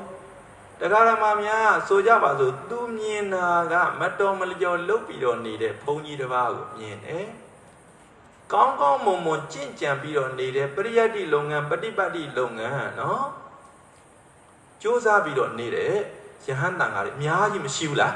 ရှိတယ်သူကမြင်တာမကောင်းတာလေးမြင်ပြီးတခါတော့အဖိုးကြီးတွေအားလုံးဒီအတိုင်းကြီးပဲဆိုပြီးတော့တော်ပြီဆုံးမလောင်းတော့ဘူးသူမှမလောင်းတော့ဘူးဆိုဟောသူ့မှာကုသိုလ်တရားတွေမဆုပ်ယုပ်ဘူးလားဆုပ်ယုပ်တာပေါ့နော်ဒါကြောင့်မို့တန်ဃာရဲ့ပုံကိုယ်ရဲ့ဆိုတာကွဲပြားအောင်ကြည့်ဖို့လိုအပ်တယ်နော် မိမိတို့ရဲ့နေအိမ်မှာဘုန်းကြီးတစ်ပါးကြွပြီးတော့လာတယ်ဆိုရင်တော့မှဒါတန်ဃာကိုရီမှန်းပြီးတော့ငါလှူတာပါသူ့လှူတာမဟုတ်ဘူးဆိုရင်တော့ဒါတန်ခိကဒါနပဲဆိုတာဒီလိုရှိတာ哦နော်အဲ့ဒါကြောင့်မို့ဦးဇင်းတို့တရားဓမ္မများတန်ဃာရဲ့ပုံကိုယ်ရဲ့ကွဲဖို့မလိုအပ်ဘူးလားလိုအပ်တယ်ဟောတန်ဃာတွေပေါ်မှာတဲ့မကြည်ညိုမှုနော် သဘောတရားမျိုးဖြစ်ပြီးတော့လာတယ်ကြည်ညိုမှုတရားတရားတွေပြက်ကွက်ပြီးတော့တွားတယ်ဆိုလို့ရှိရင်တော့ဒီပုဂ္ဂိုလ်ဟာဒါလူစင်းရဲစင်းနဲ့ဝင်သွားပြီတဲ့လူချမ်းသာမဟုတ်တော့ဘူးတဲ့ဒီလိုပြောတယ်အဲ့တော့ခေါနာကလိုမတော်မလျော်နေတဲ့ဘုန်းကြီးတစ်ပါးတွေ့တယ်သူ့မလူချင်းနေလို့ရနော်တန်ဃာတွေကတော့တန်ဃာပဲနော်အရိယာပုဂ္ဂိုလ်တွေမြတ်စွာဘုရားလက်ထက်တုန်းကကောင်းမွန်စွာကျင့်ကြံကြတဲ့တန်ဃာတွေရှိတယ်အဲ့ဒါတွေကို ရှီမှန်းပြီးတော့ငါလှူဒန်းပါဤဆိုရင်ဒီလိုဆိုရင်ပြီးပြီနော် အဲ့လိုဆိုတော့ရင်ပုဂ္ဂိုလ်ပေါ်စိတ်ရောက်เสียမလိုတော့ဘူးမြတ်စွာဘုရားကလည်းပဲတချို့နေရာတွေမှာဟောပြီးတော့ထားတာရှိတယ်ပုဂ္ဂလပတာရတုတ်ဆိုတာနော်ပုဂ္ဂိုလ်တဦးတယောက်ကိုအစွဲလန်းထားပြီးတော့မကြည်ညိုဖို့အစွဲလန်းထားပြီးတော့ကြည်ညိုမယ်ဆိုလို့ရှိရင်နော်မလိုလားအပ်တဲ့အပြစ်တွေပါလေဖြစ်ပြီးတော့လာတတ်တယ်ဆိုတာဟောကြားထားတာရှိတယ်ပေါ့နော် အဲ့ဒါကြောင့်မို့တန်ခါရဲ့ပုံကိုရဲ့ကွဲဖို့လိုအပ်တယ်ဆိုပြီးတော့ပြောကျင်တယ်ပေါ့နော်ဟောနောက်ထာဂရဆရာကြီးများတီကာဆရာကြီးများပြောတဲ့စကားလုံးတစ်ခုကတော့မှတ်သားဆရာပဲဘဂဝတ္တောအပရပါကိဗုဒ္ဓဓမ္မရတနာနံပိတမတိကမောတံကရတနာတိနောမြတ်စွာဘုရားပြိဋိဘံဆံသွားတဲ့နောက်ကာလမှာတဲ့ ဖယားယရနာအကြောင်းတရားယရနာအကြောင်းသိပြီးတော့နေရတာတန်ဃာရီရဲ့စွမ်းအားကြောင့်ပါတဲ့နော်ဖယားယရနာအကြောင်းတို့တွေဖယားပြိဋိဘံဆံသွားတာနှစ်ပေါင်း2560ကျော်သွားပြီနော်တရားယရနာအကြောင်းတို့တွေသိပြီးတော့နေရတာဘသူတွေရဲ့စွမ်းအားကြောင့်နော်တန်ဃာတွေရဲ့စွမ်းအားကြောင့်တဲ့ဒီလိုသိပြီးတော့နေရတာ တန်ဃာတွေသာမရှိဘူးဖယ်ထားလိုက်မယ်ဆိုတော့ရှင်ဖယားဆိုတာလည်းပဲဘလူပုဂ္ဂိုလ်မှန်တို့တွေသိမှာမဟုတ်တော့ဘူးတရားဆိုတာလည်းပဲဘလူဟာတော့ဆိုတာတို့တွေသိပါအောင်မလားမသိနိုင်တော့ဘူးတဲ့ဆိုကြပါစို့ဦးဇင်းတို့တက္ကရာမများတချို့ကကတိကတ္တပြောခြင်းပြောမှာပေါ့နော်တရားတွေမပြောင်းနိုင်ပါဘူးကွန်ပျူတာနဲ့ထည့်သိမ့်ထားရတာပဲနော် ကြေးပြားပေါ်မှာထည့်ပြီးတော့ရေးပြီးတော့ထားမယ်စတိပြားတွေပေါ်မှာထည့်ပြီးတော့ရေးထားမယ်အဲ့လိုဆိုလို့ရှိရင်ဒီဗုဒ္ဓစာပေတွေမပြောင်းနိုင်ပါဘူးဒီလိုပြောရင်ပြောမှာပေါ့ဘာပဲပြောပြောတရားဓမ္မများဟောဒီစာပေတွေကိုသင်ကြားမှုပို့ချမှုလေ့လာမှုမှာမရှိဘူးဆိုရင်ဒီစာတွေမျက်စိအောက်ရှိနေပေမဲ့နော်အတိတ်ပဲဖော်နိုင်မှာမလားမဖော်နိုင်ဘူးနော် တန်ဃာတွေကနေပြီးတော့အစင်စင်ပို့ချပြီးတော့နေလို့မို့ဒီစာရဲ့အတိတ်ပဲဆိုတာပေါ်လို့ရတာဆိုကြပါစို့တက္ကရာမမြပကံတို့ဘာလို့ဖျားဘူးရောက်ဖူးတယ်နော်အဲမှာများစေဒီကြောက်စာပကံမှာကြောက်စာတွေပါလေမရှိဘူးလားရှိတယ်နော်ရေးထားတာပဲမျက်စိအောင်မြင်နေရတာပဲတို့တမိုင်းမလိုက်စားတဲ့ပုံကိုယ်ကြီးဆိုဖတ်တတ်လားဖတ်တတ်ပါဘူးနော်အတိတ်ပဲမဖော်တတ်ပါဘူးဒီအတိုင်းပဲမြတ်စွာဘုရားရဲ့စာတွေ ကွန်ပျူတာထဲဘလောက်ထည့်ထားတာကြေးပြားပေါ်မှာစတိပြားပေါ်မှာဘလောက်ကြီးရေးထားတာတန်ဃာတော်တွေကနေပြီးတော့တင်အံပို့ချမှုမှာမရှိဘူးဆိုရင်ဒီစာရဲ့အတိတ်ပဲဆိုတာမျက်စိအောက်ကြောင်တောင်ကြီးမြင်ပြီးတော့နေရပါမယ်အတိတ်ပဲဖော်နိုင်မှာမဟုတ်ဘူးအတိတ်ပဲမဖော်နိုင်ဘူးဆိုရင်တရားဓမ္မများတို့တွေကုသိုလ်အကုသိုလ်ဆိုတာနားလည်ပါအောင်မလားနားမလည်တော့ဘူးဖရာအကြောင်းဆိုတာနားလည်ပါအောင်မလားဖះဆိုတာကဘလို့ပုံကုမျိုးကိုဖះလို့ခေါ်တယ်လဲဆိုတာနော်ရောင်တိရောင်ဝါးတွေဖြစ်ကုန်ပါပဲ ဆိုကြပါစို့တချို့ပြောတယ်အိန္ဒိယမှာအိန္ဒိယမှာဆိုလို့ရင်ဗုဒ္ဓဘာသာဝင်လူဦးရေနော်တန်း60လောက်ရှိတယ်ဆိုလားပဲနော်ဘလောက်ကြီးပဲရှိရှိသူတို့မှာကိုးဝယ်ရမယ်တန်ခါကမရှိဘူးမှန်မှန်ကန်ကန်ညွန်ပြတတ်တဲ့ဘုန်းကြီးတွေကမရှိဘူးမရှိတဲ့ခါကျတော့ဒီလိုဗုဒ္ဓဘာသာဆိုပြီးတော့ဒါနာမည်ခံပြီးတော့ထားရတာတဲ့ ကိုယ်ဝယ်မှုမှာရောင်ဝါးကြီးဖြစ်ပြီးတော့နေတယ်ကိုယ်ဖះဆိုတာကိုဘလို့ဖះမှမသိဘူးနတ်ဖះလိုလိုဘာလိုလိုဒါမျိုးတွေဖြစ်ပြီးတော့ကုန်တာပေါ့နော်တရားဆိုလို့ရှိရင်လည်းပဲတို့ဖះကဘလို့တရားတွေဟောထားခဲ့လဲတီလဆိုတာဘလို့တမာတိဆိုတာဘလို့ပညာဆိုတာဘလို့ဝိပဿနာဆိုတာကဘလို့အားထုတ်ရမယ်တမထဆိုတာကဘလို့ပွားများရမယ်ဆိုပြီးတော့ဒီလိုဟာတွေဩတရားဓမ္မများရှိနိုင်မအောင်မလားမရှိနိုင်တော့ဘူး ဒါကြောင့်မို့ယနေ့အချိန်ထိဖရာယရဏအကြောင်းတရားယရဏအကြောင်းသိပြီးတော့နေရတာဘသူတွေရဲ့စွမ်းအားကြောင့်နော်တန်ဃာတွေရဲ့စွမ်းအားကြောင့်ဆိုဒီလိုသဘောထားပြီးတော့ကြည်ညိုဖို့လိုအပ်တယ်တဲ့နော်ကြည်ညိုဖို့လိုအပ်တယ်ဒီဘုန်းကြီးတွေရှုပ်တာပါပဲဆုံးလောင်းပြီးတော့နေရတာပဲပို့တာပါပဲဆိုပြီးတော့ဒီလိုသဘောထားလို့မရဘူးမိမိတို့ရဲ့စိတ်ကူးထဲမှာတရားဓမ္မများမျိုးဆက်တစ်ခုလောက်စိတ်ကူးလေးနဲ့ ဘုန်းကြီးတန်ခါလေးအကုန်လုံးဖြောက်ပြီးတော့ကြီးလိုက်နှစ်ပေါင်း20အစိတ်လောက်ဘုန်းကြီးတန်ခါမရှိတော့ဘူးဆိုလို့ရှိရင်ဘယ်လိုတွေဖြစ်သွားမလဲခုနစာရီအတိတ်ပဲခေါ်နိုင်မှာမဟုတ်တော့ဘူးဖះအကြောင်းတရားအကြောင်းဆိုတာမသိနိုင်တော့ဘူးဒါကြောင့်မို့ဖရာအကြောင်းတရားအကြောင်းယနေ့သိပြီးတော့နေရတာ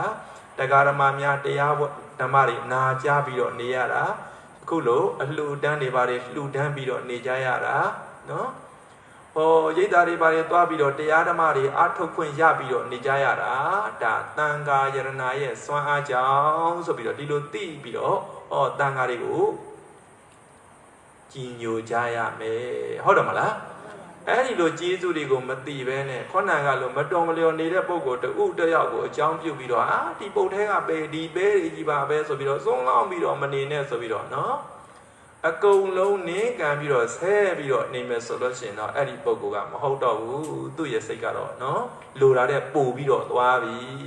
ဆိုနော်ကဲရှိသေးတော့မြတ်စွာဘုရားကပြောတယ်တံကေပတ္တာတော်ယတ္တိတန်ဃာတော်အပေါ်မှာယုံကြည်မှုပတာဒတရားရှိပြီးတော့နေတယ်ဆိုရင်အဲ့ဒီပုဂ္ဂိုလ်လူချမ်းသာတန်ဃာတွေပေါ်မှာ ပြစ်မှားဒေါသတွေဖြစ်ပြီးတော့နေတယ်မကြည်မနှက်တွေဖြစ်ပြီးတော့နေတယ်ဆိုလို့ရင်အဲ့ဒီပုဂ္ဂိုလ်ဟာလူစင်းရဲပါပဲတဲ့အသက်ရှည်ရာကျိုးမနှက်ပါဘူးဆိုပြီးတော့မြတ်စွာဘုရားကမိန့်ကြားတယ်နောက်တစ်ခုဥဇုဘုတင်္စတတနံလူချမ်းသာရဲ့လူစင်းရဲ့ရဲ့ဆိုပြီးတော့တတ်မှတ်ဖို့ဆိုပြီးတော့မြတ်စွာဘုရားပေးတဲ့စံတစ်မျိုးက ဖြောင်းမှန်သောဉာဏ်အမြင်တဲ့ပြောကြည့်ပါပါလေတော့ဖြောင်းမှန်သောဉာဏ်ဒီတဲ့ပို့ပြီးတော့နားလည်အောင်ပြောရမယ်ဆိုရင်ဖြောင်းမှန်သောဉာဏ်အမြင်ဆိုတာတရားဓမ္မများတမ္မာဒိဋ္ဌိကိုပြောတယ်နော်သိတယ်သိတယ်ဆိုတိုင်းတချို့ပုံကိုယ်တွေကမှန်မှန်ကန်ကန်သိတာဟုတ်ကဲ့လားမဟုတ်ဘူးမှားယွင်းပြီးတော့အမှားကိုအမှန်ထင်ပြီးတော့နေတာရှိသေးတယ်အဲ့ဒါကျတော့ဖြောက်မှန်တယ်လို့ပြောလို့မရဘူး ကောက်ကွေးပြီးတော့နေတယ်ပေါ့နော်ဘုရားတို့ဗုဒ္ဓဘာသာဝင်မှာဗုဒ္ဓဘာသာမှာတမ္မာဒိဋ္ဌိဆိုတာအဆင့်အမျိုးမျိုးရှိတယ်နော်တမ္မာဒိဋ္ဌိဆိုတာအဆင့်မျိုးမျိုးရှိတယ်အနိမ့်ဆုံးကမ္မတက္ကတာတမ္မာဒိဋ္ဌိအနှိမ့်ဆုံးကကမ္မတက္ကတာတမ္မာဒိဋ္ဌိကံနာလျင်ကိုယ်ပိုင်ဥစ္စာရှိတယ်နော် ကိုလှုပ်တာကိုရမယ်လို့ဒီလိုဆိုလိုတာပဲနော်ကောင်းတာပဲလှုပ်လို့မကောင်းတာပဲလှုပ်လို့ကောင်းတာလှုပ်ရင်ကောင်းကျိုးရမယ်မကောင်းတာလှုပ်ရင်ဘာလို့မကောင်းကျိုးရမယ်ဒီကောင်းကျိုးရတယ်မကောင်းကျိုးရတယ်ဆိုတာတစ်ပြင်လူရတာဟုတ်ကဲ့လားမဟုတ်ဘူးလှုပ်တဲ့ပုဂ္ဂိုလ်ကိုယ်တိုင်ရတာအဲ့ဒီလိုသိမှတ်တဲ့သဘောကိုဒါကမ္မတက္ကတာတမ္မာဒိဋ္ဌိဆိုပြီးတော့ဒီလိုခေါ်တာနော်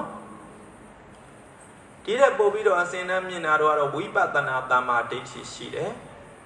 ဒီတဲ့ပို့ပြီးတော့မြင်မယ်ဆိုရင်တော့မက္ကတမ္မာဒိဋ္ဌိတို့ဖလတမ္မာဒိဋ္ဌိတို့ဒီလိုရှိမှာပေါ့အဲ့တော့ခေါနာကပြောခဲ့တယ်ဗုဒ္ဓဘာသာဝင်တူတယောက်မှာအနေဆုံးရှိတဲ့တမ္မာဒိဋ္ဌိကဘာလဲတော့ကမ္မတက္ကတာတမ္မာဒိဋ္ဌိဟောဒီကာမတက္ကတာတမ္မာဒိဋ္ဌိကိုဖယ်ထားမှဆိုရင်ဒီပုဂ္ဂိုလ်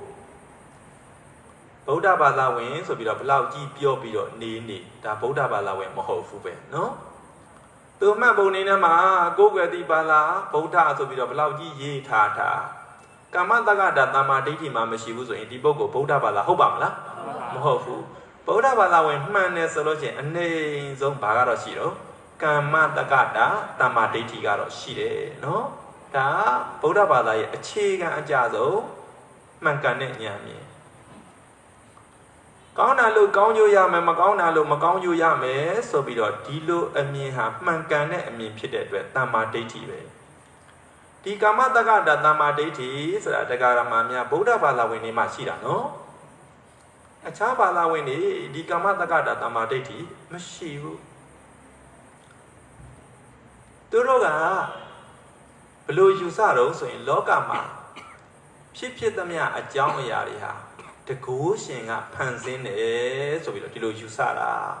အဲ့ဒါကမ္မတက္ကတာတမ္မာဒိဋ္ဌိဟုတ်ကဲ့လားဟုတ်ပါ မဟုတ်ဘူးเนาะတကိုးရှင်ကဖန်ဆင်းတာလူတူချမ်းသာလည်းပဲတကိုးရှင်ကဖန်ဆင်းတာဆင်းရဲလည်းတကိုးရှင်ကဖန်ဆင်းတာเนาะရုပ်ချောလည်းတကိုးရှင်ကဖန်ဆင်းတာသူတို့ကိုးကွယ်တဲ့ဘုရားသခင်ကဖန်ဆင်းတာရုပ်ဆိုးလည်းပဲဘုရားသခင်ကဖန်ဆင်းတာနော်ကိုယ့်ဘာကိုအလုံးမလုံးလို့ထမင်းကလည်းဘုရားသခင်အလိုကြနော် ဟောအဲ့လိုဖြစ်ဖြစ်သမျှအကြောင်းအရာတွေဟာဘ ဘုရားသခင်ကနေပြီးတော့ဖန်ဆင်းတာဆိုပြီးတော့ဒီလိုယူဆပြီးတော့နေတယ်ဆိုရင်တရားဓမ္မများအဲ့ဒါမှန်ကန်တဲ့ဉာဏ်အမြင်ဆိုပြီးတော့ဒီလိုမဟုတ်နိုင်ဘူးเนาะမှန်ကန်တဲ့ဉာဏ်အမြင်မဟုတ်နိုင်ဘူးစဉ်းစားပြီးတော့ကြည့်မယ်ဆိုလို့ရှိရင်လည်းစဉ်းစားလို့ရတာပေါ့ပြောတယ်ဘုရားသခင်ကတတ်တော်တွေပေါ့အလွန်တရာတနာတယ်ဆိုပြီးတော့ဒီလိုပြောတယ် တနာတယ်ဆိုလို့ရင်အကုန်လုံးလူချမ်းသာတွေကြီးပဲဖြစ်အောင်ဖန်ဆင်းပေါ့လူကြောလေးတွေကြီးဖြစ်အောင်ဖန်ဆင်းပေါ့အချွေရံပေါ်တဲ့လူတွေကြီးပဲဖြစ်အောင်ဖန်ဆင်းပေါ့နော်အဲ့လိုမဟုတ်ဘဲနဲ့လူဒန်းစားမညီမမျှဖြစ်အောင်ဖန်ဆင်းပြီးတော့နေတယ်ဆိုရင်ဒါသဘာဝမကြဘူးပေါ့ဒါတနာတတ်တယ်ကျင်နာတတ်တယ်ဆိုပြီးတော့ပြောလို့မရတော့ဘူးပေါ့နော်ထားပါတော့အပြစ်အသက်ကြီးတဲ့ပုံကိုယ်ကြီးအပြစ်ရှိလို့ဆိုရင်အပြစ်အားလျော်စွာဒဏ်ခတ်တယ်ဆိုရင်ထားအောင်တော့ ဟောတချို့ဆိုလို့ရင်မွေးကာစားလေးတွေကစွန့်အားနာမကြဆိုပြီးတော့ဒီလိုမွေးလာကြတယ်ရုပ်ဆင်းရဲတွေပျက်စီးပြီးတော့နေကြတယ်ဒါမျိုးတွေရှိပြီးတော့နေတယ်ပေါ့အဲ့တော့ရှိပါစေတော့ဦးဇင်းတို့ပြောချင်တာကတော့ကောင်းတာလို့ရင် ကောင်းကျိုးရမယ်မကောင်းတာလို့ရင်မကောင်းကျိုးရမယ်ဆိုတာဗုဒ္ဓဘာသာဝင်တွေအတွက်အခြေခံအကြဆုံးတမ္မာဒိဋ္ဌိဒီလိုတမ္မာဒိဋ္ဌိဆိုတာဗုဒ္ဓဘာသာမှာပဲရှိတယ်အခြားဘာသာတွေမှာမရှိဘူးဆိုတာပြောချင်တာပါဦးဇင်းတို့ကနော် အဲ့တော့အဲ့လိုမှန်ကန်တဲ့ဉာဏ်အမြင်မျိုးရှိပြီးတော့နေတယ်ဆိုရင်ဒါလူချမ်းသာမှန်ကန်တဲ့ဉာဏ်အမြင်မျိုးမရှိဘူးဆိုရင်သူ့ဘာလို့သူတတ်နိုင်လို့ခုနှစ်တက်တဲ့ရှစ်တက်တဲ့ကြီးပေါ်နေနေနော်ရွှေပုံကြီးပေါ်မှာထိုင်ပြီးတော့နေနေရွှေကရင်ပေါ်မှာပဲအိတ်အိတ်ရွှေလင်မနဲ့နော်ရွှေစုံးနေသုံးပြီးတော့ထမင်းနေဘလောက်ကြီးစားစားမြတ်စွာဘုရားကဒီပုဂ္ဂိုလ်မျိုးကိုလူချမ်းသာဆိုပြီးတော့ဒီလိုမတတ်မှတ်ပါဘူးလူစင်းရဲလို့ပဲတတ်မှတ်တယ်နော် နောက်တမ္မာဒိဋ္ဌိတစ်မျိုးကအဆင့်မြင့်နိုင်မယ်ဆိုရင်ခုနပါရတော့ဝိပဿနာတမ္မာဒိဋ္ဌိဝိပဿနာတမ္မာဒိဋ္ဌိဆိုတာကသင်္ခါရတရားတွေအားလုံးမမြဲဘူးသင်္ခါရတရားတွေအားလုံးဆင်းရဲဒုံကြီးပဲသင်္ခါရတရားတွေအားလုံးဟာဆိုလို့ရှိရင်ကိုယ်စိုးကိုယ်ပိုင်မဟုတ်ဘူးဆိုပြီးတော့ဒီလိုသိတာဒါဝိပဿနာတမ္မာဒိဋ္ဌိပေါ့နော် အဲ့လိုမဟုတ်ဘဲနဲ့အဲ့ဒီဟာကိုပြောင်းပြန်ယူဆပြီးတော့နေတယ်ဆိုလို့ရှိရင်တော့ဒါတမ္မာဒိဋ္ဌိမဟုတ်တော့ဘူးဒါကြတော့ဒီလိုဝိပဿနာတမ္မာဒိဋ္ဌိကြတော့တရားဓမ္မများရိုးရိုးနော်တရားဓမ္မနာကြားယုံနဲ့မသိနိုင်တော့ဘူးကိုယ့်ဘာကိုရှုမှတ်ပွားများမှုအရှိန်အဝါဒါမျိုးနဲ့မှသိမှာဩဆိုကြပါစို့ ဒီကနေပြီးတော့ဘုန်းကြီးတွေကဟောလို့တရားစာတွေဖတ်လို့တရားဓမ္မတွေနာကြားလို့အနေဆာပဲဒုက္ခပဲအနတ္တပဲဆိုတာဒါထိုးထွင်းသိမဟုတ်သေးဘူးပေါ့နော်နားထောင်သိပဲရှိသေးတယ်ခေါဏလိုအနေဆာဒုက္ခအနတ္တဆိုပြီးတော့တေးသေးချာချာထိုးထွင်းပြီးတော့သိတဲ့အတိမျိုးကမှဝိပဿနာတမာတိတိစစ်စစ်ပဲနော်ခေါဏကတော့ဥစဉ်တို့နားထောင်ရုံနဲ့နားထောင်နေဆိုရင်ဒါတုဒ္ဓမယဉာဏ်ဆိုပြီးတော့ဒီလိုပြောခြင်းပြောနိုင်တာပေါ့နော် ရှိသေးတော့အဲ့လိုဝိပဿနာတမာဒိဋ္ဌိတို့ဘာလို့ရှိမှဆိုရင်တော့ဒီပုဂ္ဂိုလ်ကိုအလွန်တရာချမ်းသာတဲ့ပုဂ္ဂိုလ်ပဲပေါ့နော်မေဃတမာဒိဋ္ဌိတို့ဖလတမာဒိဋ္ဌိတို့ရှိပြီးတော့သွားပြီဆိုလို့ရှိရင်တော့တရားဓမ္မများပြောစရာကိုမလိုတော့ဘူးအလွန်တရာအချမ်းသာဆုံးပုဂ္ဂိုလ်ပဲဆိုပြီးတော့ဒီလိုပြောနိုင်တယ်အဲ့တော့ကမ္မတက္ကတာတမာဒိဋ္ဌိဝိပဿနာတမာဒိဋ္ဌိဒီလိုမှန်ကန်တဲ့ဉာဏ်မြင်တွေရှိပြီးတော့နေတယ်ဆိုရင်ပါတော့လူချမ်းသာ အဲ့လိုမှမဟုတ်ဘူးဆိုရင်တော့လူဆင်းရဲပါပဲတဲ့အဲ့တော့မြတ်စွာဘုရားကလူချမ်းသာရဲ့လူဆင်းရဲဆိုတာကိုခွဲခြားတတ်မှတ်ဖို့စံပနှမျိုးပေးထားတာတော့၄မျိုးပေးထားတာဖရာအပေါ်၌ယုံကြည်မှုတရားတရားနောက်တစ်ခုကကိုချင်းသီလတရားတန်ဃာတော်ပေါ်၌ကြည်ညိုမှုပတာဒတရားနောက်တစ်ခုကဖြောင်းမှန်သောဉာဏ်အမြင်တဲ့နော် ဒါတွေရှိပြီးတော့နေတယ်ဆိုရင်လူချမ်းသာဒါတွေမရှိဘူးချိုရင်းပြီးတော့နေတယ်ဆိုရင်တော့လူဆင်းရဲပဲဒီလိုမြတ်စွာဘုရားဟောကြားပါတယ်ဒါတွေရှိပြီးတော့နေတယ်ဆိုရင်တော့ဒီပုဂ္ဂိုလ်ကအသက်ရှင်ရဂျိုးနှက်တယ်ဒါတွေမရှိဘူးဆိုလို့ရှိရင်တော့အသက်ရှင်ရဂျိုးမနှက်ဘူးအသက်ရှိရှည်သလောက်အကုသိုလ်တရားတွေတိုးပြီးတော့ဒုက္ခပွားဖို့ပဲဖြစ်မှာပဲမြတ်စွာဘုရားကမိန့်ကြားတော်မူတာနော် အဲ့တော့ဦးဇင်းတော်တရားဓမ္မများနောက်ဆုံးနေတယ်။အိုးမြတ်စွာဘုရားလက်ထက်တုန်းကဖြစ်ပေါ်ခဲ့တဲ့အကြောင်းအရာလေးတွေပြောပြီးတော့ကြည်ရအောင်။ရာဇဂျူမြို့မှာနူနာယောဂါတဲ့ကြီးတယောက်ရှိတယ်။သူ့ရဲ့နာမည်ကတုပ္ပဗုဒ္ဓဘယ်သူလဲတော့တုပ္ပဗုဒ္ဓတုပ္ပဗုဒ္ဓ ဆိုတာနော်နာမည်အကောင်းမဟုတ်ဘူးကြလားတုပ္ပဆိုတာကအိပ်ပျော်နေတဲ့ပုံကိုယ်တွေကိုဗုဒ္ဓဆိုတာနှိုးတတ်တဲ့ပုံကိုယ်လို့ဒီလိုဆိုတာအိပ်ပျော်နေတဲ့ပုံကိုယ်တွေကိုအိပ်မရအောင်တော်တော်ဒုက္ခပေးတဲ့လူလို့ဒီလိုဆိုလိုတာနော်ခေါန္ဓာကပြောကြတဲ့အတိုင်းသူကနူနာတယ်ကြီးရှေးတုန်းကတက္ကရာတိကိပိစေကဗုဒ္ဓကိုနော် တတွေးနဲ့ပတ်ပြီးတော့မယုံမသေးလောက်ခဲ့တယ်နူနာတယ်ဆိုပြီးတော့သူဆဲခဲ့တယ်အဲ့ဒီမကောင်းမှုကံကနေပြီးတော့အကျိုးပေးတာမိခင်ဝမ်းတဲ့ကလေးကယောဂဆွဲပြီးတော့လာနူနာတယ်ကြီးတွေးတွေက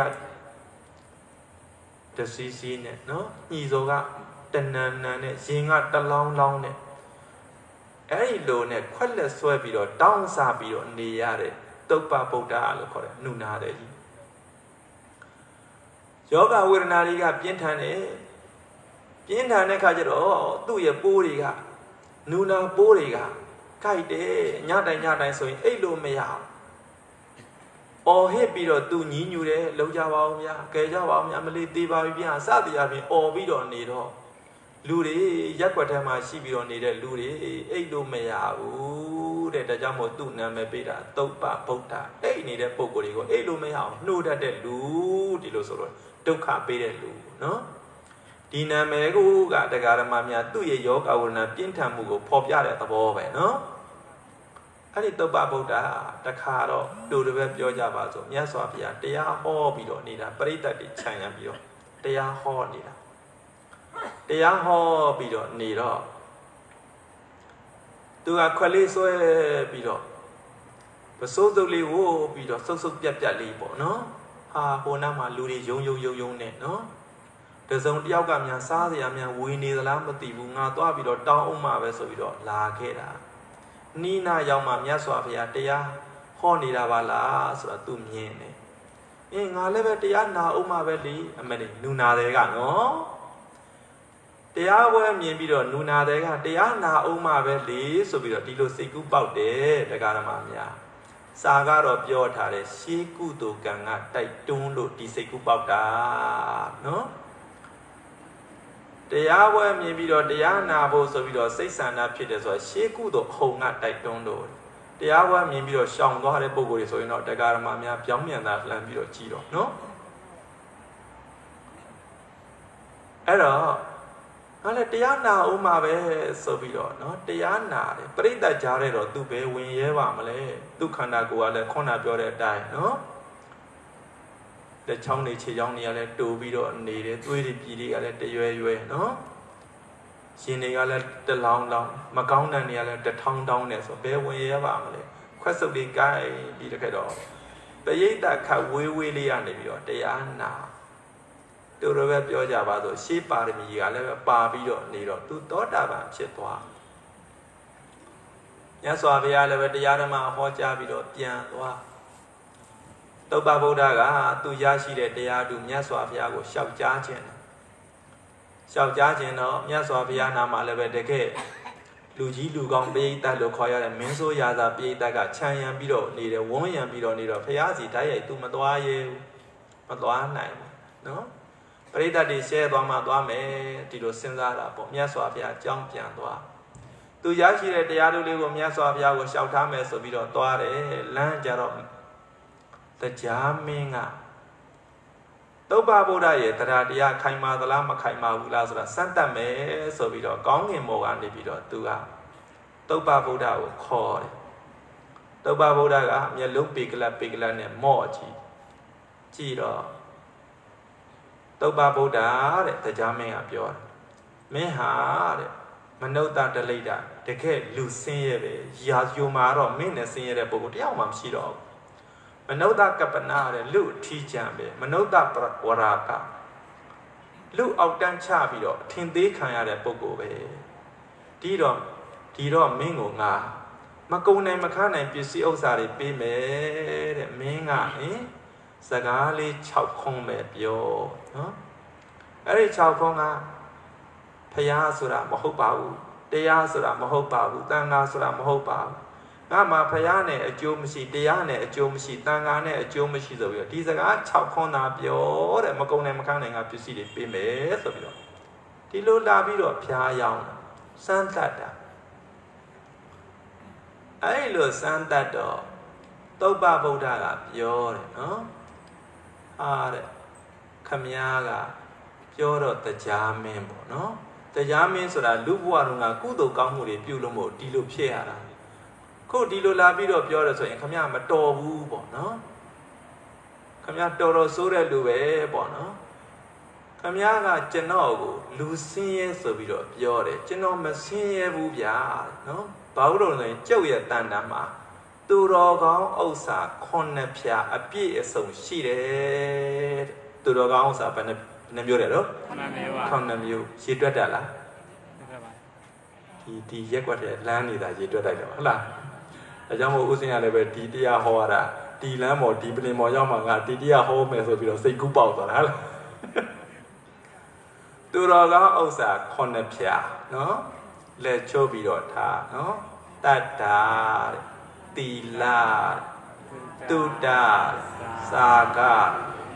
ဟိရိတဲ့ဩတ္တပဥစဉ်ကအစဉ်တိုင်းမှားသွားပြန်ပြောမယ်နော်တတ္တာသီလဟိရိဩတ္တပတုဒ္ဒစာကပညာဘယ်နှမျိုးလဲတော့ခုနှစ်မျိုးသူတော်ကောင်းဥစ္စာခုနှစ်ဖြာနဲ့သူတော်ကောင်းတရားခုနှစ်ပါးနဲ့မတူဘူးနော်မတူဘူး အဲ့တော့တတ္တတနံတိလတနံဟိရိဩတ္တပိယံတနံဒုဒ္ဒတနင်းစာစာကောစာပညာဝေတတ္တမန္တနံသူတော်ကောင်းဥစ္စာခုနှစ်မျိုးဆိုတာတတ္တတနာဖရာတရားတန်ခါပေါ်မှာယုံကြည်တယ်ဒါယုံကြည်တယ်ဆိုလို့ရှိရင်မြတ်စွာဘုရားဒါဥစ္စာတစ်မျိုးပဲဘာဖြစ်လို့လဲဆိုတော့ဘဝတန်တရားမှာ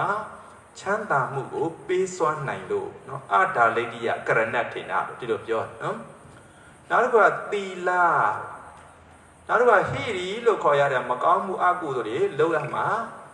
ရှက်တတ်တဲ့သဘောနော်ရှက်တယ်ဆိုတဲ့နေရာမှာဆရာသမားရှိရှက်တာဒါမျိုးမဟုတ်ဘူးလူကြီးရေရှက်တာစကားပြောရမှာရှက်တာဒါမျိုးကိုပြောတာမဟုတ်ဘူးနော်အကုသို့လောက်ရမှာရှက်တာကိုပြောတာအဲ့ဒါဟိရီပဲနော်ဒီလန်းကပါတော့ဟိရီလန်းတယ်ဟုတ်လားဟိရီလန်းဆိုရင်အဲ့ဒါဟိရီလန်းပုံကိုယ်ရတာအကုသို့လောက်ရမှာရှက်ရမှာဟုတ်လား တချို့ပုဂ္ဂိုလ်တွေဆိုတာကတက္ကရာမများအကုသိုလ်လုပ်ပြီးတော့နေပေမဲ့ရှက်လားရှက်ဘူးမျက်နှာပြောင်တိုက်ပြီးတော့လုပ်တယ်လေနော်အဲ့ဒါမရှက်လို့ရှက်တဲ့ပုဂ္ဂိုလ်များကျတော့အကုသိုလ်ဆိုတာလူရှိသူရှိမလုပ်ဘူးနော်အဲ့တော့ဟိရိဆိုတာနော်ဒါလည်းပဲသူတော်ကောင်းဥစ္စာတစ်မျိုးတဲ့ပုတ္တပဆိုတာကျတော့ကြောက်တာမကောင်းမှုအကုသို့လုံးအမှကြောက်တာမကောင်းမှုအကုသို့များလုံးလိုက်မယ်ဆိုရင်နောက်ဘဝခံရမယ်အကျိုးကမနှဲဘူး ဆိုကြောက်တဲ့သဘောနော်တစေကြောက်တာတရေကြောက်တာလူကြီးကြောက်တာဒါမျိုးကိုဥတ္တပလို့မခေါ်ဘူးနော်နောက်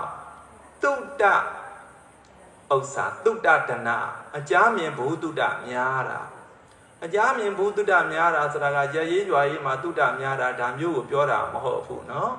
ဓမ္မစာပေနဲ့ပတ်သက်ပြီးတော့တရားဓမ္မတွေနာနာနာကြားပြီးတော့ထားတာဒါမျိုးကိုတုတ္တဒနာလို့ဒီလိုခေါ်တယ်နော် နောက်စာဃဒနာတဲ့ဒါကတော့နားလည်ပါတယ်စွန့်ကြက်ပေးကံလှူဒန်းခြင်းသဘောတရားရှိတာကိုပြောတာနော်နောက်တစ်ခုကဘာလို့ပညာဒနာတဲ့သူတော်ကောင်းဥစ္စာဘယ်နှမျိုးတော့ခုနှစ်မျိုးဒီရက်ွက်ထဲကလမ်းနေတာလိုက်ပြီးတော့ဒါရေတွက်ပြီးတော့ပြောလိုက်ပြီးသွားပြီနော်သူတော်ကောင်းဥစ္စာခုနှစ်ပါးဆိုတာနော်အဲ့တော့ သုပ္ပဗုဒ္ဓကပြောတယ်ခမည်းကကျုပ်ကိုဆင်းရဲသားဆိုပြီးတော့ပြောတယ်ကျုပ်မဆင်းရဲဘူးရတယ်ကျုပ်မှာသူတော်ကောင်းဥစ္စာခုနှစ်ပြားအပြည့်အဝရှိတယ်သွားပြသွားပြတယ်ခမည်းနဲ့ကျုပ်နဲ့မတန်မှုတယ်အဖတ်မတန်မှုတယ်စကားမပြောချင်ဘူးဆိုပြီးတော့နော်တရားမင်းကိုနူနာတွေကငေါ့ထုတ်တယ်နော်အဲ့တော့တရားမင်းကမြတ်စွာဘုရားကြီးသွားလျှောက်တယ်တုပ္ပဗုဒ္ဓကတပည့်တော်ကိုဒီလိုပြောတယ်ဖေယားဆိုတော့နော် ဒီလိုပြောတယ်ဖေယားဆိုတော့မြတ်စွာဘုရားပြောတယ်တင်လို့ပုဂ္ဂိုလ်မျိုးတရားမကတထောင်မကတုပ္ပဗုဒ္ဓကိုသွားပြီးတော့ဖျားယောင်းလို့မရဘူးတဲ့တုပ္ပဗုဒ္ဓဟာနော်တရားဓမ္မတွေထိုးထွင်းပြီးတော့တည်သွားတယ်စသည်အပြင်ပြောတယ်တုပ္ပဗုဒ္ဓကလည်းပဲမြတ်စွာဘုရားဒီသွားပြီးတော့သူရရှိတဲ့တရားတွေပြောလျှောက်ထားပြီးတော့ပြန်လာသားပြောက်လို့မို့စိတ်နှောက်ပြီးတော့နေတဲ့နမတကောင်ကသုပ္ပဗုဒ္ဓရင်ဝဝင်ဆောင် တခါတည်းကွယ်လွန်သွားတာဝရိန္ဒာနတ်ပြည်ရောက်တယ်တဲ့ဘယ်ရောက်တာလဲတော့အာဝေဘာနတ်တရားရောက်တော့လည်းပဲတာမင်ညမဟုတ်ဘူးတဲ့အခြားနတ်တွေထက်အစင်းအဖြစ်လဲတာလွန်နေတဲ့အချွေရန်အဖြစ်လဲတာလွန်တယ်တဲ့အဲ့ဒီလိုဖြစ်သွားတယ်ဆိုကျင်တာကတော့တက္ကရာမများပစ္စည်းဥစ္စာတွေမရှိပေမဲ့လည်းပဲ သူတော်ကောင်းဥစ္စာခုနှစ်ဖျားဓာတ်ခံရှိပြီးတော့နေတယ်ဆိုရင်ဘဝတန်တရားအဆက်ဆက်သူမချမ်းသာဘူးလားချမ်းသာတယ်ဒီလိုပြောရမှာပေါ့နော်ဩနောက်မြတ်စွာဘုရားလက်ထက်တုန်းကတာဝတိပြည်မှာအာနန္ဒာတထေကြီးဆိုတာရှိသေးတယ်နော်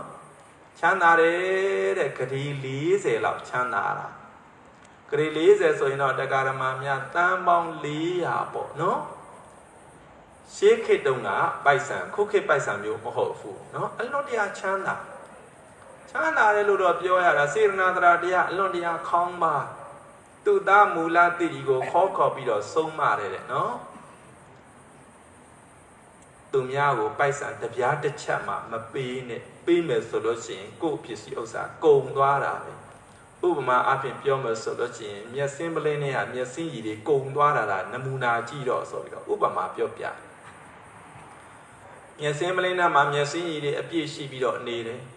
မျက်စင်းခတ်တယ်ဆိုလို့ရှိရင်တက္ကရာမများဒီအတိုင်းပလင်းဖွင့်ပြီးတော့တုံချတာဟုတ်လားဟုတ်ဘူးတပေါက်ချင်းတပေါက်ချင်းနဲ့မျက်စင်းခတ်ကြကြာတော့မျက်စင်းမလင်းနဲ့မှာမျက်စင်းရည်တွေလုံးဝကုန်သွား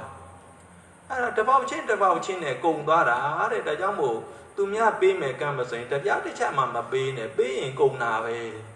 ဒီလိုသဘောမျိုးပြောတာနော် အဲ့တော့ရဖို့ကိစ္စဆိုလို့ရှိရင်တော့ပြားကောင်တွေကိုနမူနာယူပြီးတော့ခြကောင်တွေကိုနမူနာယူပြီးတော့စူးတဲ့အဲ့ဒီလိုပုံစံမျိုးနဲ့ဆုံးမပြီးတော့တည်သွားတာသူကိုယ်တိုင်ဘယ်တော့မှဘာမှမလှူဘဲနဲ့တည်သွားနောက်ဘဝကျတော့ပယ်ရောက်တော့ဒါနမရှိတဲ့ပုံကိုယ်ရဲ့ထုံးစံအတိုင်းပေါ့အလွန်တရာဆင်းရဲတဲ့အမျိုးမှာတွားပြီးတော့ဖြစ် ရုပ်ဆင်းအင်္ဂါကလည်းပဲအလွန်တရာချုပ်ရင်းနဲ့မျက်စိကမျက်စိနေရာမပေါက်ဘူးနားကနားနေရာမပေါက်ဘူးဟာဘလူးလေးလားသေရဲလေးလားဆိုပြီးတော့နော်လက်ကောက်ကောက်ခြေကောက်ကောက်နေဆိုပြီးတော့လူရုပ်ကိုမပေါ်ဘူးဘလူးလားသေရဲလားဆိုပြီးတော့ဒီလိုကိုအောင်းမရလောက်အောင်လို့ဒီလိုကိုဖြစ်ရတယ်တဲ့နော်အဲ့တော့ဒဂရမများဒီဘဝကတော့တထေးကြီးပဲဂရီ40ကျွယ်ဝတဲ့တိုက်ကြီးပေါ်မှာနေရတာပဲ ခြေလမ်းလေးတလန်းဟိုဘက်လမ်းလိုက်တာနဲ့ဒီပိုင်းနဲ့ဒုက္ခမရောက်ရဘူးလားရောက်ရတယ်ဒါကြောင့်မို့လူချမ်းသာလူစင်းရဲဆိုတာတက္ကရာမများတတ်မှတ်တယ်ဆိုတာမြတ်စွာဘုရားကရေရှည်ကြည့်ပြီးတော့မှဉာဏ်တော်ကြီးနဲ့ကြည့်ပြီးတော့မှခွဲခြားတတ်မှတ်တာဖြစ်တယ်ဦးဇင်းတို့ပုထုဇဉ်တို့ုံကြည့်ပြီးတော့တတ်မှတ်တာဟုတ်ကဲ့လားမဟုတ်ဘူးဒါကြောင့်မို့ဦးဇင်းတို့တက္ကရာမများမိမိတို့တွေလူချမ်းသာဖြစ်အောင်ကြိုးစားကြဖို့ လိုအပ်တယ်မြတ်စွာဘုရားပေါ်မှာယုံကြည်မှုတရားတရားခိုင်မာပြီးတော့နေအောင်ကြိုးစားကြရမယ်ကိုချင်းသီလတွေတို့ပုထုဇဉ်ဘဝမှာဆိုရင်ပြက်တာတော့ရှိရှိမယ်သို့တော်လည်းပဲစိတ်ကနေပြီးတော့ငါတို့ခိုင်မာအောင်လုံခြုံအောင်တတ်နိုင်သမျှထိမ့်သိမ့်မယ်ဆိုပြီးတော့ထိမ့်သိမ့်မှုလိုအပ်တယ်တန်ဃာတော်တွေပေါ်မှာလည်းပဲယုံကြည်မှုတရားတရားကိုထိမ့်သိမ့်မှုလိုအပ်တယ်မှန်ကန်တဲ့ဉာဏ်မြင်တွေလည်းပဲပြည့်ရွင်ပြီးတော့သွားအောင်ထိမ့်သိမ့်ရမယ်အဲ့ဒီလိုသာထိမ့်သိမ့်မယ်ဆိုလို့ရှိရင်တို့ ဩမြတ်စွာဘုရားတတ်မှတ်ထားတဲ့လူချမ်းသာစည်းထဲမှာတို့တဲ့တို့ဝင်သွားမှာအသက်ရှည်ရာကျိုးလည်းပဲနတ်မှာပဲဆိုပြီးတော့ဒီလိုသိပြီးတော့ကြိုးစားကြဖို့လိုအပ်တယ်နော်မြတ်စွာဘုရားဟောကြားထားတဲ့ဒေသနာလေးပြန်ပြီးတော့ကြည်ညိုကြည့်ကြရအောင်ဒါပြီးပြီးကြရအောင်ယတတတ္တတတဂတိအာသလသုပတိဋ္ဌိတာသီလင်္စာယတကလျာဏရိယကန္တံပတံတိတံ တံကေပလာတော်ယတတိဥစုပုတင်္စတတနံအာတလိတော်တိတံအာဟုအာမောကံတတစီဝိတံယတာချင်းပုဂ္ဂိုလ်မှာတထာဂတိမြတ်စွာဘုရားအပေါ်၌အာဇလာလုံရှားရင်ရိုက်မှုမရှိသောသုပတိဋ္ဌိတာကောင်းစွာတည်ရန်သောတတ္တတရာတရားသည်အဋ္ဌိရှိပါပေတော့၏ယတာချင်းပုဂ္ဂိုလ်မာရိယကန္နရိယပုဂ္ဂိုလ်တို့သည်နှစ်သက်အပ်သောကလျာဏံကောင်းသော ပတံတိတံဣယာပုဂ္ဂိုလ်တို့သည်ရှိမွေသောသီလင်္စာကိုခြင်းသီလတရားသည်လည်းပဲအဋ္ဌိရှိပါပေ၏ရတာခြင်းပုဂ္ဂိုလ်မှာတန်ခေတန်ဃာတော်ပေါ်၌ပတာတော်ကြီးညိုမှုပတာရာတရားသည်အဋ္ဌိရှိပါပေ၏ယတာခြင်းပုဂ္ဂိုလ်မှာဥစုဗုဒ္ဓပြောင်းမှန်သည်ဖြစ်ဖြစ်ဖြစ်သောတတနာစဉာဏ်မြင်သည်လည်းပဲအဋ္ဌိရှိပါပေ၏တန်တော်ပုဂ္ဂိုလ်မျိုးကို အာတလိတော်ဒီမစင်းရဲသောပုဂ္ဂိုလ်ဟူ၍အာဟုဖျားစာသောပုဂ္ဂိုလ်များကသူတော်ကောင်းများကဟောကြားတော်မူကြပါပေကုန်တော့၏ဒါနတော်ပုဂ္ဂိုလ်ဤဇီဝိတံသက်ရှင်ရာခြင်းသည်အာမောကံအချီအနိမဟုတ်ပါပေ၏တည်သောဘဂဝါဘုံ၆ပါးသခင်ဖျားရှင်ကိုရောမြတ်ကြီးသည်အဝေါစာကောင်းစွာမသွေဟောကြားတော်မူခဲ့ပါပေတည်း ဓမ္မောတတံပိတဝဣဇဝေတံတဗ္ဗတမုဟတံအာဇရမရံတိတိဘာဝောနိဗ္ဗာနယံတုတာတောဧဇာ1382ခုယတုတာယနတော်လာပြီကျော်14ရက်နေ့ညာချမ်းမင်္ဂလာခါကာလတမယ၌ဓမ္မောတရံလောဘဒေါသမောဟစိတ်တောက်ကင်းပြောက်ကြည်၏လူချမ်းသာနှင့်လူဆင်းရဲလို့ဆိုတဲ့တရားရည်စေးကို ဗိတဝဝန္တာရှင်မြတ်တောက်ကြရာနာကြရာကုံသောကြောင့်ဝီတံတဗံပူဇာညင်တော်ကိလေသာအစိတ်အတောက်ဥဒမြသည်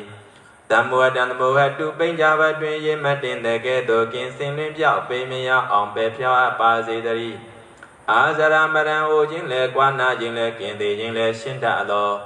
တိတိဘာဝံကိလေသာဟုအပုခတိအင်းငိရာစိဖြစ်ပေထလော နိဗ္ဗာန်နိဗ္ဗာန်လောကအင်းမြို့တော်သို့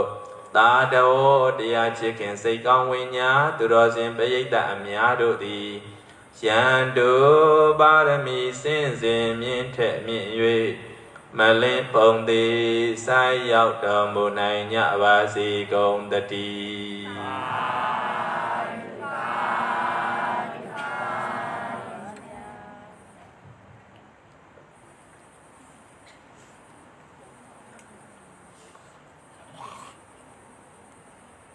ရှင်ဘုရားတပည့်တော်ရိုသေစွာလျှောက်ထားအပ်ပါသည်ဘုရားဆရာတော်ဘုရား၏သီလကုံတမာတိကုံပညာကုံတို့ကိုပူဇော်သောအဖြစ်ဓမ္မပူဇာအလိုတော်မူစက္ကပ်ဖွင့်ပြုပါရန်ရိုသေစွာလျှောက်ထားအပ်ပါသည်ဘုရားဆရာတော်ဘုရားဓမ္မပူဇာစက္ကပ်လူရနိုင်ရန်အတွက်ကပ္ပိယတာဝကအဖြစ်ဥက္ကမောင်မြင့်အားဆောင်ရွက်ပေးပါရန်နှင့်ဓမ္မပူဇာလူတော်မူဆက်ရလူရန်ပေးပါရန် ဦးထုံးဝင်းအားဓမ္မစင်မြင့်ပေါ်သို့ကြွရောက်ပါရန်လေးစားစွာဖိတ်ကြားအပ်ပါသည်ခင်ဗျာ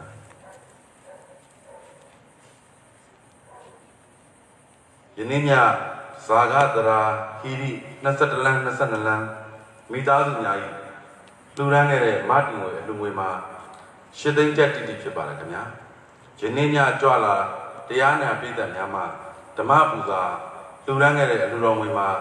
4သိန်း3650ဖြစ်ပါတယ်ခင်ဗျာစုစုပေါင်းဓမ္မပူဇာအလူငွေမှာ12သိန်း3650ကျပ်တိတိဖြစ်ပါတယ်ဗျာ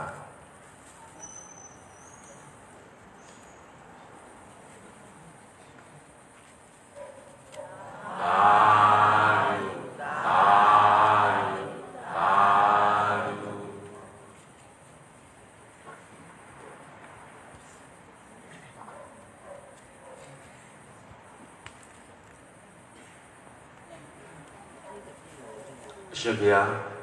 တပည့်တော်တို့လူရန်မှုစုစုတို့အားရေစက်သွန်းချအမျှပေးဝေပါယံတပည့်တော်မှရိုသေးစွာလျှောက်ထားအပ်ပါသည်ဗျာကဲအာလုံးလိုက်ဆိုကြရအောင်အရှင်ဖယားတရားတပိတော်တရားတပိတော်တပိတော်မာရောဤမာရောဤယနေ့ညနေ့ညဓမ္မတပင်ကိုဓမ္မတပင်ကိုအကြောင်းပြု၍အကြောင်းပြု၍ လူဒန်းရသောလူဒန်းရသောဒါနကုသိုလ်ဒါနကုသိုလ်သောတိယသောသောတိယသောသီလကုသိုလ်သီလကုသိုလ်ဝါများရသောဝါများရသောဘာဝနာကုသိုလ်ဘာဝနာကုသိုလ်တရားဓမ္မတရားဓမ္မနာကြားရသောနာကြားရသောဓမ္မတဝနာကုသိုလ်ဓမ္မတဝနာကုသိုလ်တရားပွဲကြီးတရားပွဲကြီးရှင် မြောက်အောင်မြင်အောင်ရှင်မြောက်ကောင်းမြင်အောင်ဆောင်ရွက်ရသောဆောင်ရွက်ရသောဝေယဝိသကုသိုလ်ဝေယဝိသကုသိုလ်ထိုထိုပေါင်းစုသူတို့ပေါင်းစုညကောင်းမှုသည်မြတ်ကောင်းမှု၏နိဗ္ဗာန်ရောက်ကြနိဗ္ဗာန်ရောက်ကြောင်းအာကောင်းသောအာကောင်းသောအထောက်အပံ့ထောက်ပံ့ဖြစ်ပါစေသာဖြစ်ပါစေသာဤကောင်းမှု၏ကောင်းမှု၏အဖို့ဘာကကိုဘုရားကကို ဤဘဝရှိဘဝ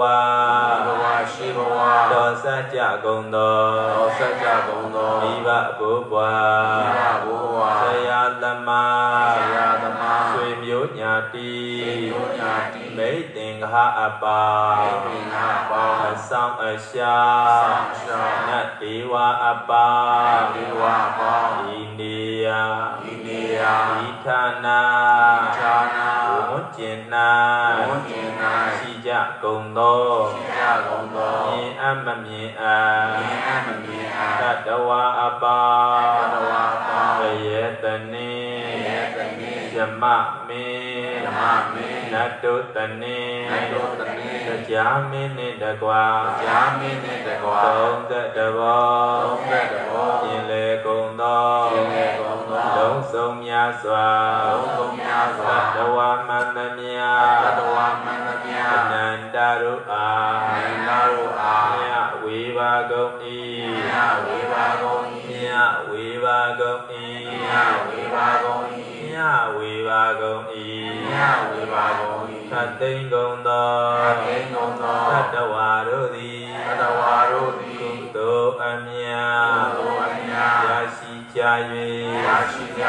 လေရောညင်ပါ၍ရောညင်မှာခါခတ်တေကာကတေကိုယ်စိတ်နှဖျားကိုယ်စိတ်နှပြသန္နာဒုက္ခသန္တာဒုက္ခရရှိကြသည်ရရှိကြသည်ဖြေကြပါစေကုန်သောအာရိကုံသော